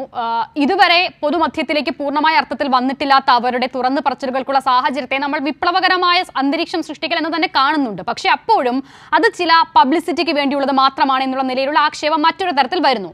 അവിടെയാണ് ഈ മുഖ്യധാര സിനിമകളിലെ പ്രധാന കഥാപാത്രങ്ങളായിട്ടുള്ള അല്ലെങ്കിൽ ആ നിലയിൽ അറിയപ്പെടുന്ന ആളുകൾ ഈ വിഷയത്തിൽ ഇതുവരെ ഒരു പ്രതികരണം നടത്താൻ തങ്ങൾക്ക് നേരിട്ടിട്ടുള്ള മോശം അനുഭവം തുറന്നു പറയാൻ തയ്യാറാകുന്നില്ല ഡബ്ല്യു സി സിയിലെ അംഗങ്ങൾ പോലും എന്നുള്ളതാണ്. അവർ പലരും ഹേമ കമ്മിറ്റിക്ക് മൊഴി കൊടുത്തിട്ടുണ്ടെന്ന് അറിയുകയും ചെയ്യുന്നു. അപ്പോൾ ഇങ്ങനെ ഉന്നതർ അല്ലെങ്കിൽ പ്രമുഖർ എന്ന് വിശേഷിപ്പിക്കുന്ന സ്ത്രീകൾ ഇത് പറയാതിരിക്കുകയും ഈ ജൂനിയർ ആർട്ടിസ്റ്റുകളെ പോലുള്ള ആളുകൾ ഇത് പറയുകയും ചെയ്യുമ്പോൾ ഇത് ഈ തുറന്നു പറയുന്ന ആളുകളുടെ ക്രെഡിബിലിറ്റി അല്ലെങ്കിൽ ഇത് മൊത്തത്തിൽ ഇത് വിശ്വാസ്യത ഇല്ലാത്ത പരാതിയാണ് എന്നുള്ള നിലയിലേക്ക് അവരുടെ വിശ്വാസ്യത തന്നെ സംരക്ഷി ചോദ്യം ചെയ്യുന്ന തരത്തിൽ ഒരു പുകമറ സമൂഹത്തിനുള്ളിൽ സൃഷ്ടിക്കാൻ ഇത് കാരണമാകുന്നുണ്ടോ? നമ്മൾ അങ്ങനെ കരുതാൻ കഴിയില്ല. ഈ സെക്ഷൽ വയലൻസ് എന്ന് പറയുന്നത് അതൊരു വലിയ ട്രോമയാണ് ഏതൊരു മനുഷ്യരും അതുമായി കടന്നു പോകുന്ന മുഴുവൻ ആൾക്കാർക്ക് ഉണ്ടാകുന്ന വലിയ ട്രോമയാണ് ഇപ്പൊ പലർക്കും അത് തുറന്നു പറയാനുള്ള ധൈര്യം ഉണ്ടാവില്ല സാമൂഹ്യ അന്തരീക്ഷം ഉണ്ടാവില്ല കുടുംബം അനുവദിക്കുന്നുണ്ടാവില്ല മറ്റ് മറ്റു പല ബന്ധ ബന്ധനങ്ങൾ ഉണ്ടാവും. അതൊക്കെ പരിഗണിച്ച് മാത്രമേ ഒരാൾക്ക് അത് പറയാൻ കഴിയൂ. പക്ഷേ ഈ എന്നാൽ പറയുന്ന എല്ലാം സത്യസന്ധമായ കേസാണെന്ന് നമുക്ക് വിചാരിക്കാനും കഴിയില്ല. നിരവധി ഇപ്പം മറ്റെല്ലാ ക്രൈമിലും കളവായ ആരോപണം വരുന്നത് പോലെ ഇതിലും ഉണ്ടാവാം. അത് നമുക്ക് നിഷേധിക്കാൻ കഴിയാത്തൊരു വസ്തുതയാണ്. എങ്കിലും സാധാരണഗതിയിൽ നമ്മുടെ ഇന്ത്യൻ സാഹചര്യം അനുസരിച്ചിട്ട് സ്ത്രീകൾ പൊതുവെ ഇത്തരം കാര്യങ്ങൾ കളവ് പറയില്ല എന്നൊരു നിഗമനത്തിലാണ് എത്തുക. ഇപ്പം എവിഡൻസ് ആക്ട് പോലും അങ്ങനെയാണല്ലോ പറയുന്നത്. എവിഡൻസ് ആക്ട് പറയുന്ന പ്രിസംഷൻ സ്ത്രീകൾക്ക് അനുകൂലമാണ്. സ്ത്രീകൾ എന്താണ് പറയുന്നത്? വലിയ വെയിറ്റേജ് കൊടുക്കുന്നുണ്ട്. ഇപ്പൊ പോക്സോ കേസിലും സെക്ഷൻ ട്വന്റി നയൻ പ്രിസംഷൻ ഇരകൾക്ക് അനുകൂലമാണ്. അത് നമ്മുടെ നിയമത്തിന്റെ ഒരു പ്രശ്നമാണ്. കാരണം നമ്മൾ അങ്ങനെയാണ് കണക്കാക്കുന്നത്. നമ്മൾ ഈ ഐ പി സി ഒഫൻസിൽ നമ്മൾ കുറ്റകൃത്യം ചെയ്തത് എസ്റ്റാബ്ലിഷ് ചെയ്യണമെങ്കിൽ മറ്റു പല കാസിൽ അതിന്റെ അവസ്ഥ എന്ന് പറയുന്നത് പ്രിസംഷൻ കുറ്റം ചെയ്തു എന്ന് ഒരു സ്ത്രീ പറഞ്ഞാൽ അവർക്ക് അനുകൂലമായി ഒരു പരിഗണന നൽകുന്നത്. പക്ഷേ നമ്മൾ കള്ള നാണയങ്ങൾ ഉണ്ടോ എന്നത് സമൂഹത്തിന് അറിയാലോ മനുഷ്യരെയൊക്കെ. ഓരോ ഈ ഇത്തരം ഇത് ഇത്തരം കുറ്റകൃത്യങ്ങൾ പറയുന്നത് വളരെ രഹസ്യമായി നടക്കുന്ന സംഗതിയാണ്. ഇപ്പൊ ഡൊമസ്റ്റിക് വയലൻസ് പറയുമ്പോൾ ഇപ്പൊ ഒരു ഡൊമസ്റ്റിക് വയലൻസിന്റെ കാര്യത്തിൽ തന്നെ കൃത്യമായി നിയമം പറയുന്നത് നാല് ചുമരുകൾക്കുള്ളിൽ നടക്കുന്ന ഒരു കാര്യമാണ് ഭാര്യയും ഭർത്താവും തമ്മിലുള്ള പ്രശ്നം എന്ന് പറയുന്നത്. അത് മൂന്നാമതൊരാൾക്ക് മനസ്സിലായി. ഇപ്പൊ ഭാര്യ ഭയങ്കരമായി ഉപദ്രവിക്കുന്ന ഭർത്താവ് ആൾക്കാർ മുമ്പിൽ ഭയങ്കര മാന്യം മാന്യമായി പെരുമാറും.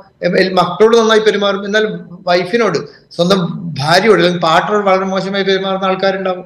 അതിനർത്ഥം എന്താ? അവർ നല്ല ആൾ നമുക്ക് പറയാൻ കഴിയുമോ? ആരാണോ അനുഭവിക്കുന്നത്? അവരാണ് അവരുടെ അനുഭവം പുറത്തു പറയുക. അങ്ങനെ അനുഭവം പറയുന്നവര് അവർക്ക് വിശ്വാസ്യമായ രീതിയിൽ കാര്യങ്ങൾ പറയാൻ കഴിഞ്ഞില്ല എങ്കിൽ തീർച്ചയായും കോടതി അത് മുഖവിലക്കെടുക്കില്ല. അത് അത് അതോടുകൂടി അവസാനം ഇപ്പൊ മുൻകൂർ ജാമ്യം നൽകി എന്ന് പറഞ്ഞല്ലോ. മുൻകൂർ ജാമ്യം നൽകുന്ന ഒരുപാട് ഘടകങ്ങളുണ്ട്. നമ്മളൊക്കെ ഈ മുൻകൂർ ഈ കേസ് വരുന്ന സമയത്ത് ക്രിമിനൽ ലോ പ്രാക്ടീസ് ചെയ്യുന്ന ഒട്ടുമിക്ക ആൾക്കാർ ഇന്ന് എന്റെ പല സുഹൃത്തുക്കളും പറഞ്ഞിരുന്നു അക്കാര്യത്തിൽ മുൻകൂർ ജാമ്യം കൊടുക്കാനാ സാധ്യത കോടതി. കോടതി പരിഗണിക്കുന്ന ഒരുപാട് ഘടകങ്ങളിൽ ഒന്നാണ്. അതുകൊണ്ടാണ് അതിൽ മുൻകൂർ ജാമ്യം കിട്ടിയത്. ഇനി മറ്റ് എവിഡൻസുകൾ എന്തൊക്കെയാണ്? എവിടെ വെച്ചാണ് സംഭവം നടന്നത്? എന്താണ് ആ സംഭവത്തിന്റെ ഗൗരവം എത്ര എത്ര ആഴത്തിലുണ്ട്. ആ കാര്യങ്ങളൊക്കെ പരിച പരിഗണിച്ചാൽ മാത്രമേ അതിന് മുന്നോട്ട് പോകു നടക്കുള്ളൂ. പക്ഷെ എന്തൊക്കെ പറഞ്ഞു കഴിഞ്ഞാലും തുറന്നു പറയാൻ കിട്ടുന്ന ഒരു അവസരം ഉള്ള സമയത്ത് ആ തുറന്നു പറയുകയും സർക്കാരും സമൂഹവും അവരോടൊപ്പം നിൽക്കുകയും ചെയ്യുന്നത് ഭാവിയിൽ ഇത്ര ഇത്തരം കുറ്റകൃത്യങ്ങൾ കുറയാൻ തീർച്ചയായും സാധ്യതയുണ്ട്. മാത്രമല്ല നമ്മൾ ഏമ കമ്മിറ്റി റിപ്പോർട്ട് ഒരു സെക്ഷൽ വയലൻസുമായി ബന്ധപ്പെട്ട റിപ്പോർട്ടായി കാണാനേ പാടില്ല. വളരെ പ്രധാനപ്പെട്ട ഒരു കാര്യം. നമ്മൾ ഇങ്ങനെയൊക്കെ കേസെടുത്തിട്ടില്ല എന്നൊക്കെ ആവർത്തിച്ച് പറയുമ്പോഴും പത്ത് നാൽപ്പത് നാൽപ്പത് അമ്പത് വർഷത്തിന് മേലെ ലോ ഫീൽഡിൽ ഉള്ള ഒരാളാണ് ജസ്റ്റിസ് ഹേമ. അവർ ചെറിയ തോതിൽ വന്ന് വലിയ സുപ്രീം ഹൈക്കോടതി ജഡ്ജായി. വളരെ ശ്രദ്ധേയമായ നിരവധി കേസുകൾ അവരുടെയൊക്കെ പ്രധാനപ്പെട്ട വിധികളിലെ ജഡ്ജാണ്. അവർ അതിന് ശുപാർശ പറയുന്ന ഒരു ഘട്ടത്തിൽ പോലും എന്റെ എനിക്ക് മുമ്പാകെ മൊഴി തന്ന ആളുടെ മൊഴി പരിഗണിച്ച് എഫ് ഐ ആർ രജിസ്റ്റർ ചെയ്യണമെന്നോ ആ വേട്ടക്കാർക്കെതിരെ നടപടി സ്വീകരിക്കണമെന്നോ ഒരു വാചകം പോലും ജസ്റ്റിസ് ഹേമ പറഞ്ഞില്ല എന്ന് വളരെ പ്രധാനപ്പെട്ട സംഗതിയാണ്. അത് നമ്മൾ പരിഗണിക്കാതെ പോയിക്കൂടാ. യെസ് യെസ് വസന്ത ചുരുങ്ങിയ വാക്കുകളിൽ മറുപടി വേണം. ഈ വെളിപ്പെടുത്തലുകൾക്ക് ശേഷം എടുത്തിട്ടുള്ള കേസുകളിൽ പോലീസ് ആയിക്കോട്ടെ സർക്കാർ ആയിക്കോട്ടെ വളരെ അനുകൂലമായ സമീപനം സ്വീകരിച്ചിട്ടുണ്ട് എന്നുള്ളത് ഈ പരാതിക്കാർ തന്നെ മാധ്യമങ്ങളുടെ മുന്നിൽ പറഞ്ഞ സാഹചര്യം നിലനിൽക്കുന്നു. രണ്ടാമത് ഇതിപ്പോൾ കോടതിയുടെ പരിഗണനയിൽ വരുന്നു. പ്രത്യേക ബെഞ്ച് പൂർണമായ രൂപം ഉടനെ തന്നെ വരികയും ചെയ്യുന്നു. അപ്പോൾ അങ്ങനെ പോസിറ്റീവായ ഒരു അന്തരീക്ഷത്തിൽ നിലവിൽ ഈ വിഷയത്തെ കാണുന്നുണ്ടോ? അല്ല അങ്ങനെയാണെങ്കിൽ വൃന്ദാകാരാട്ടിനും കൂടി അത് പറഞ്ഞു കൊടുക്കുക. നേരത്തെ സുകന്യ പറഞ്ഞ എല്ലാ വാദ്യങ്ങളും അവരുടെ സീനിയർ ലീഡറായിട്ടുള്ള മുൻ ദേശീയ ജനറൽ സെക്രട്ടറി ആയിരുന്ന പ്രകാശ് കാരാട്ടിന്റെ വൈഫ് അവർക്ക് കൂടി അത് പറഞ്ഞു കൊടുക്കുക. വൃന്ദ കാരാട്ടിന് കൂടി അതൊന്ന് പറഞ്ഞു കൊടുത്ത് അവരെ കൂടി ഒന്ന് ബോധ്യപ്പെടുത്തിയാൽ മതി. അപ്പോൾ വൃന്ദയ്ക്ക് മനസ്സിലാവുന്ന രീതിയിൽ വൃന്ദയ്ക്ക് മലയാളം അറിയാമല്ലോ. ആ രീതിയിൽ കൂടി ശ്രീ സഹാവ് സുകന്യ ടീച്ചറിനെ അതിന് നിയോഗിക്കണമെന്നാണ് എന്റെ എളിയ അഭ്യർത്ഥന. രണ്ട് വളരെ കൃത്യമാണ്. ഇപ്പോ അങ്ങ് ചോദിച്ച ചോദ്യമടക്കം സർക്കാർ എന്ത് നിലപാട് സ്വീകരിക്കുന്നു എന്നുള്ളത് വളരെ പ്രസക്തമാണ്. ഇനിയും ഒരുപാട് പേർക്ക് മുമ്പോട്ട് വന്ന് അവർക്ക് നേരിടുന്ന പീഡനങ്ങൾ അവർ അനുഭവിക്കുന്ന ബുദ്ധിമുട്ടുകൾ തുറന്നു പറയണമെങ്കിൽ അങ്ങനെ സ്ത്രീകൾക്ക് ശക്തി ഉണ്ടാവണമെങ്കിൽ നിലവിലുള്ള ആരോപണങ്ങളിൽ കൃത്യമായ അന്വേഷണം നടക്കണം. ശിക്ഷ മേടിച്ചു കൊടുക്കാൻ സർക്കാരിന് പോലീസിന് ആഭ്യന്തരത്തിന് സാധിക്കണം. അതില്ലാത്ത പക്ഷം വീണ്ടും അടിച്ചമർത്തപ്പെടലുകളിലൂടെ സ്ത്രീ സമൂഹം കടന്നു പോകേണ്ടതായി വരും. അത് ദുരവസ്ഥ തന്നെയാണ് എന്നതിൽ സംശയം. യെസ് യെസ് എൻ സുകന്യ അവസാനിപ്പിച്ചോളൂ. ഈ നിലയിൽ സർക്കാർ ഇടപെടുന്നു. പക്ഷെ അപ്പോഴും നമ്മുടെ മുന്നിൽ യാഥാർത്ഥ്യം. വർഷങ്ങൾക്ക് മുൻപ് നടന്ന സംഭവമാണ്. യാതൊരു തരത്തിലുള്ള തെളിവുകൾ പോലും പലതിനും ഇല്ല എന്നുള്ളതാണ് അത് യാഥാർത്ഥ്യമാണ്. എന്തായാലും അവസാനിപ്പിച്ചോളൂ. പറഞ്ഞ് അവസാനിപ്പിക്കും. ആദ്യമായി പറയാനുള്ളത് വൃദ്ധാക്കാരായിട്ട് എടുത്ത നിലപാടിൽ നിന്ന് വ്യത്യസ്തമായിട്ടുള്ള ഒരു കാര്യവും ഈ ചർച്ചയിൽ ഞാൻ പറഞ്ഞിട്ടില്ല പാർട്ടിയും അക്കാര്യത്തിൽ പറഞ്ഞിട്ടില്ല. ഇക്കാര്യത്തിൽ പാർട്ടിക്ക് ഒരു അഭിപ്രായം തന്നെയാണ് അക്കാര്യത്തിലുള്ളത്. വ്യത്യസ്തമായ ഒരു നിലപാടും പറഞ്ഞിട്ടില്ല. രണ്ടാമത് ഞാൻ തുടക്കത്തിൽ തന്നെ സൂചിപ്പിച്ചതുപോലെ ഇത് ഒരു ചരിത്രപരമായ ഒരു ഒരു വലിയ എന്താണ് ഒരു നിയോഗം തന്നെ എന്ന് നമുക്ക് പറയാവുന്ന ഒന്നാണ് ഹേമ കമ്മിറ്റി റിപ്പോർട്ട്. അത് കേരളത്തിൽ മാത്രമായി ഇതിന്റെ അനുരണനങ്ങൾ നിൽക്കാൻ പോകുന്നില്ല. സിനിമാ മേഖലയിൽ മാത്രമായി ഇതിന്റെ അനുരണനങ്ങൾ നിലനിൽക്കും എന്നും പറയാൻ കഴിയില്ല. വിവിധ മേഖലകൾക്കകത്ത് ശബ്ദമില്ലാതിരുന്ന സ്ത്രീകൾക്ക് ശബ്ദമുണ്ടാക്കി കൊടുക്കുന്ന ഒരു വലിയ മുന്നേറ്റമായിട്ട് ഈ പ്രസ്ഥാനം മാറും. എങ്ങനെയാണ് ഒരുപക്ഷെ മീറ്റു എന്നത് യൂറോപ്യൻ രാജ്യങ്ങളിൽ അമേരിക്കയിൽ ഉൾപ്പെടെ ഉണ്ടായത് അതിന്റെ മറ്റൊരു രൂപത്തിൽ ഇന്ത്യയിൽ കേരളത്തിലെ വിവിധ ഇന്ത്യയിലെ വിവിധ സംസ്ഥാനങ്ങളിൽ ഇതൊരു വലിയ കൊടുങ്കാറ്റായി മാറുമെന്നുള്ളതാണ് സമീപ ദിവസങ്ങളിൽ തന്നെ വരുന്ന വാർത്തകൾ സൂചിപ്പിക്കുന്നത്. അഭിമാനത്തോടെ പറയാം അതിന് നേതൃത്വം കൊടുത്തത് ഇടതുപക്ഷ ഗവൺമെന്റ് ആണ് തീർച്ചയായും ഈ ഗവൺമെന്റ് ഇരകൾക്കൊപ്പമാണ് വിക്ടിംസിനൊപ്പമാണ് ഒരർത്ഥത്തിലും പ്രിഡേറ്റേഴ്സിന്റെയോ അല്ലെങ്കിൽ ഈ അക്രമികളുടെയോ കൂടെയല്ല എന്നുള്ളത് വളരെ ധൈര്യപൂർവം നമുക്ക് പറയാൻ ക്ലിയർ ആണ്. ശ്രീ ശുക്കൂർ പറഞ്ഞ ഏറ്റവും പ്രധാനപ്പെട്ട ഒരു കാര്യം ഈ ചർച്ചയിൽ ഉരുത്തിരിഞ്ഞു വന്നത്. ഈ ഹേമ കമ്മിറ്റി റിപ്പോർട്ടുമായി ബന്ധപ്പെട്ട് ഇതിലെ ലൈംഗിക ആരോപണം ലൈംഗിക അതിക്രമം ഒക്കെ നമ്മൾ ചർച്ച ചെയ്യുമ്പോഴും തൊഴിൽ നിഷേധവുമായി ബന്ധപ്പെട്ട് തൊഴിൽ സാഹചര്യങ്ങളുമായി ബന്ധപ്പെട്ട് ഗുരുതരമായ വെളിപ്പെടുത്തലുകളും ഈ റിപ്പോർട്ടിലുണ്ട്. അത് കോടതിയുടെ ഇടപെടലിലൂടെയെങ്കിലും പൊതുസമൂഹം ആ നിലയിൽ ഗൗരവതരമായി ചർച്ച ചെയ്യണം എന്നുള്ളത് കൂടിയാണ്. വളരെ നന്ദി N Sukanya Vasanth ശ്രീയക്ക doctor advocate C Shukkur news and വ്യൂസിൽ സഹകരിച്ചതിന്.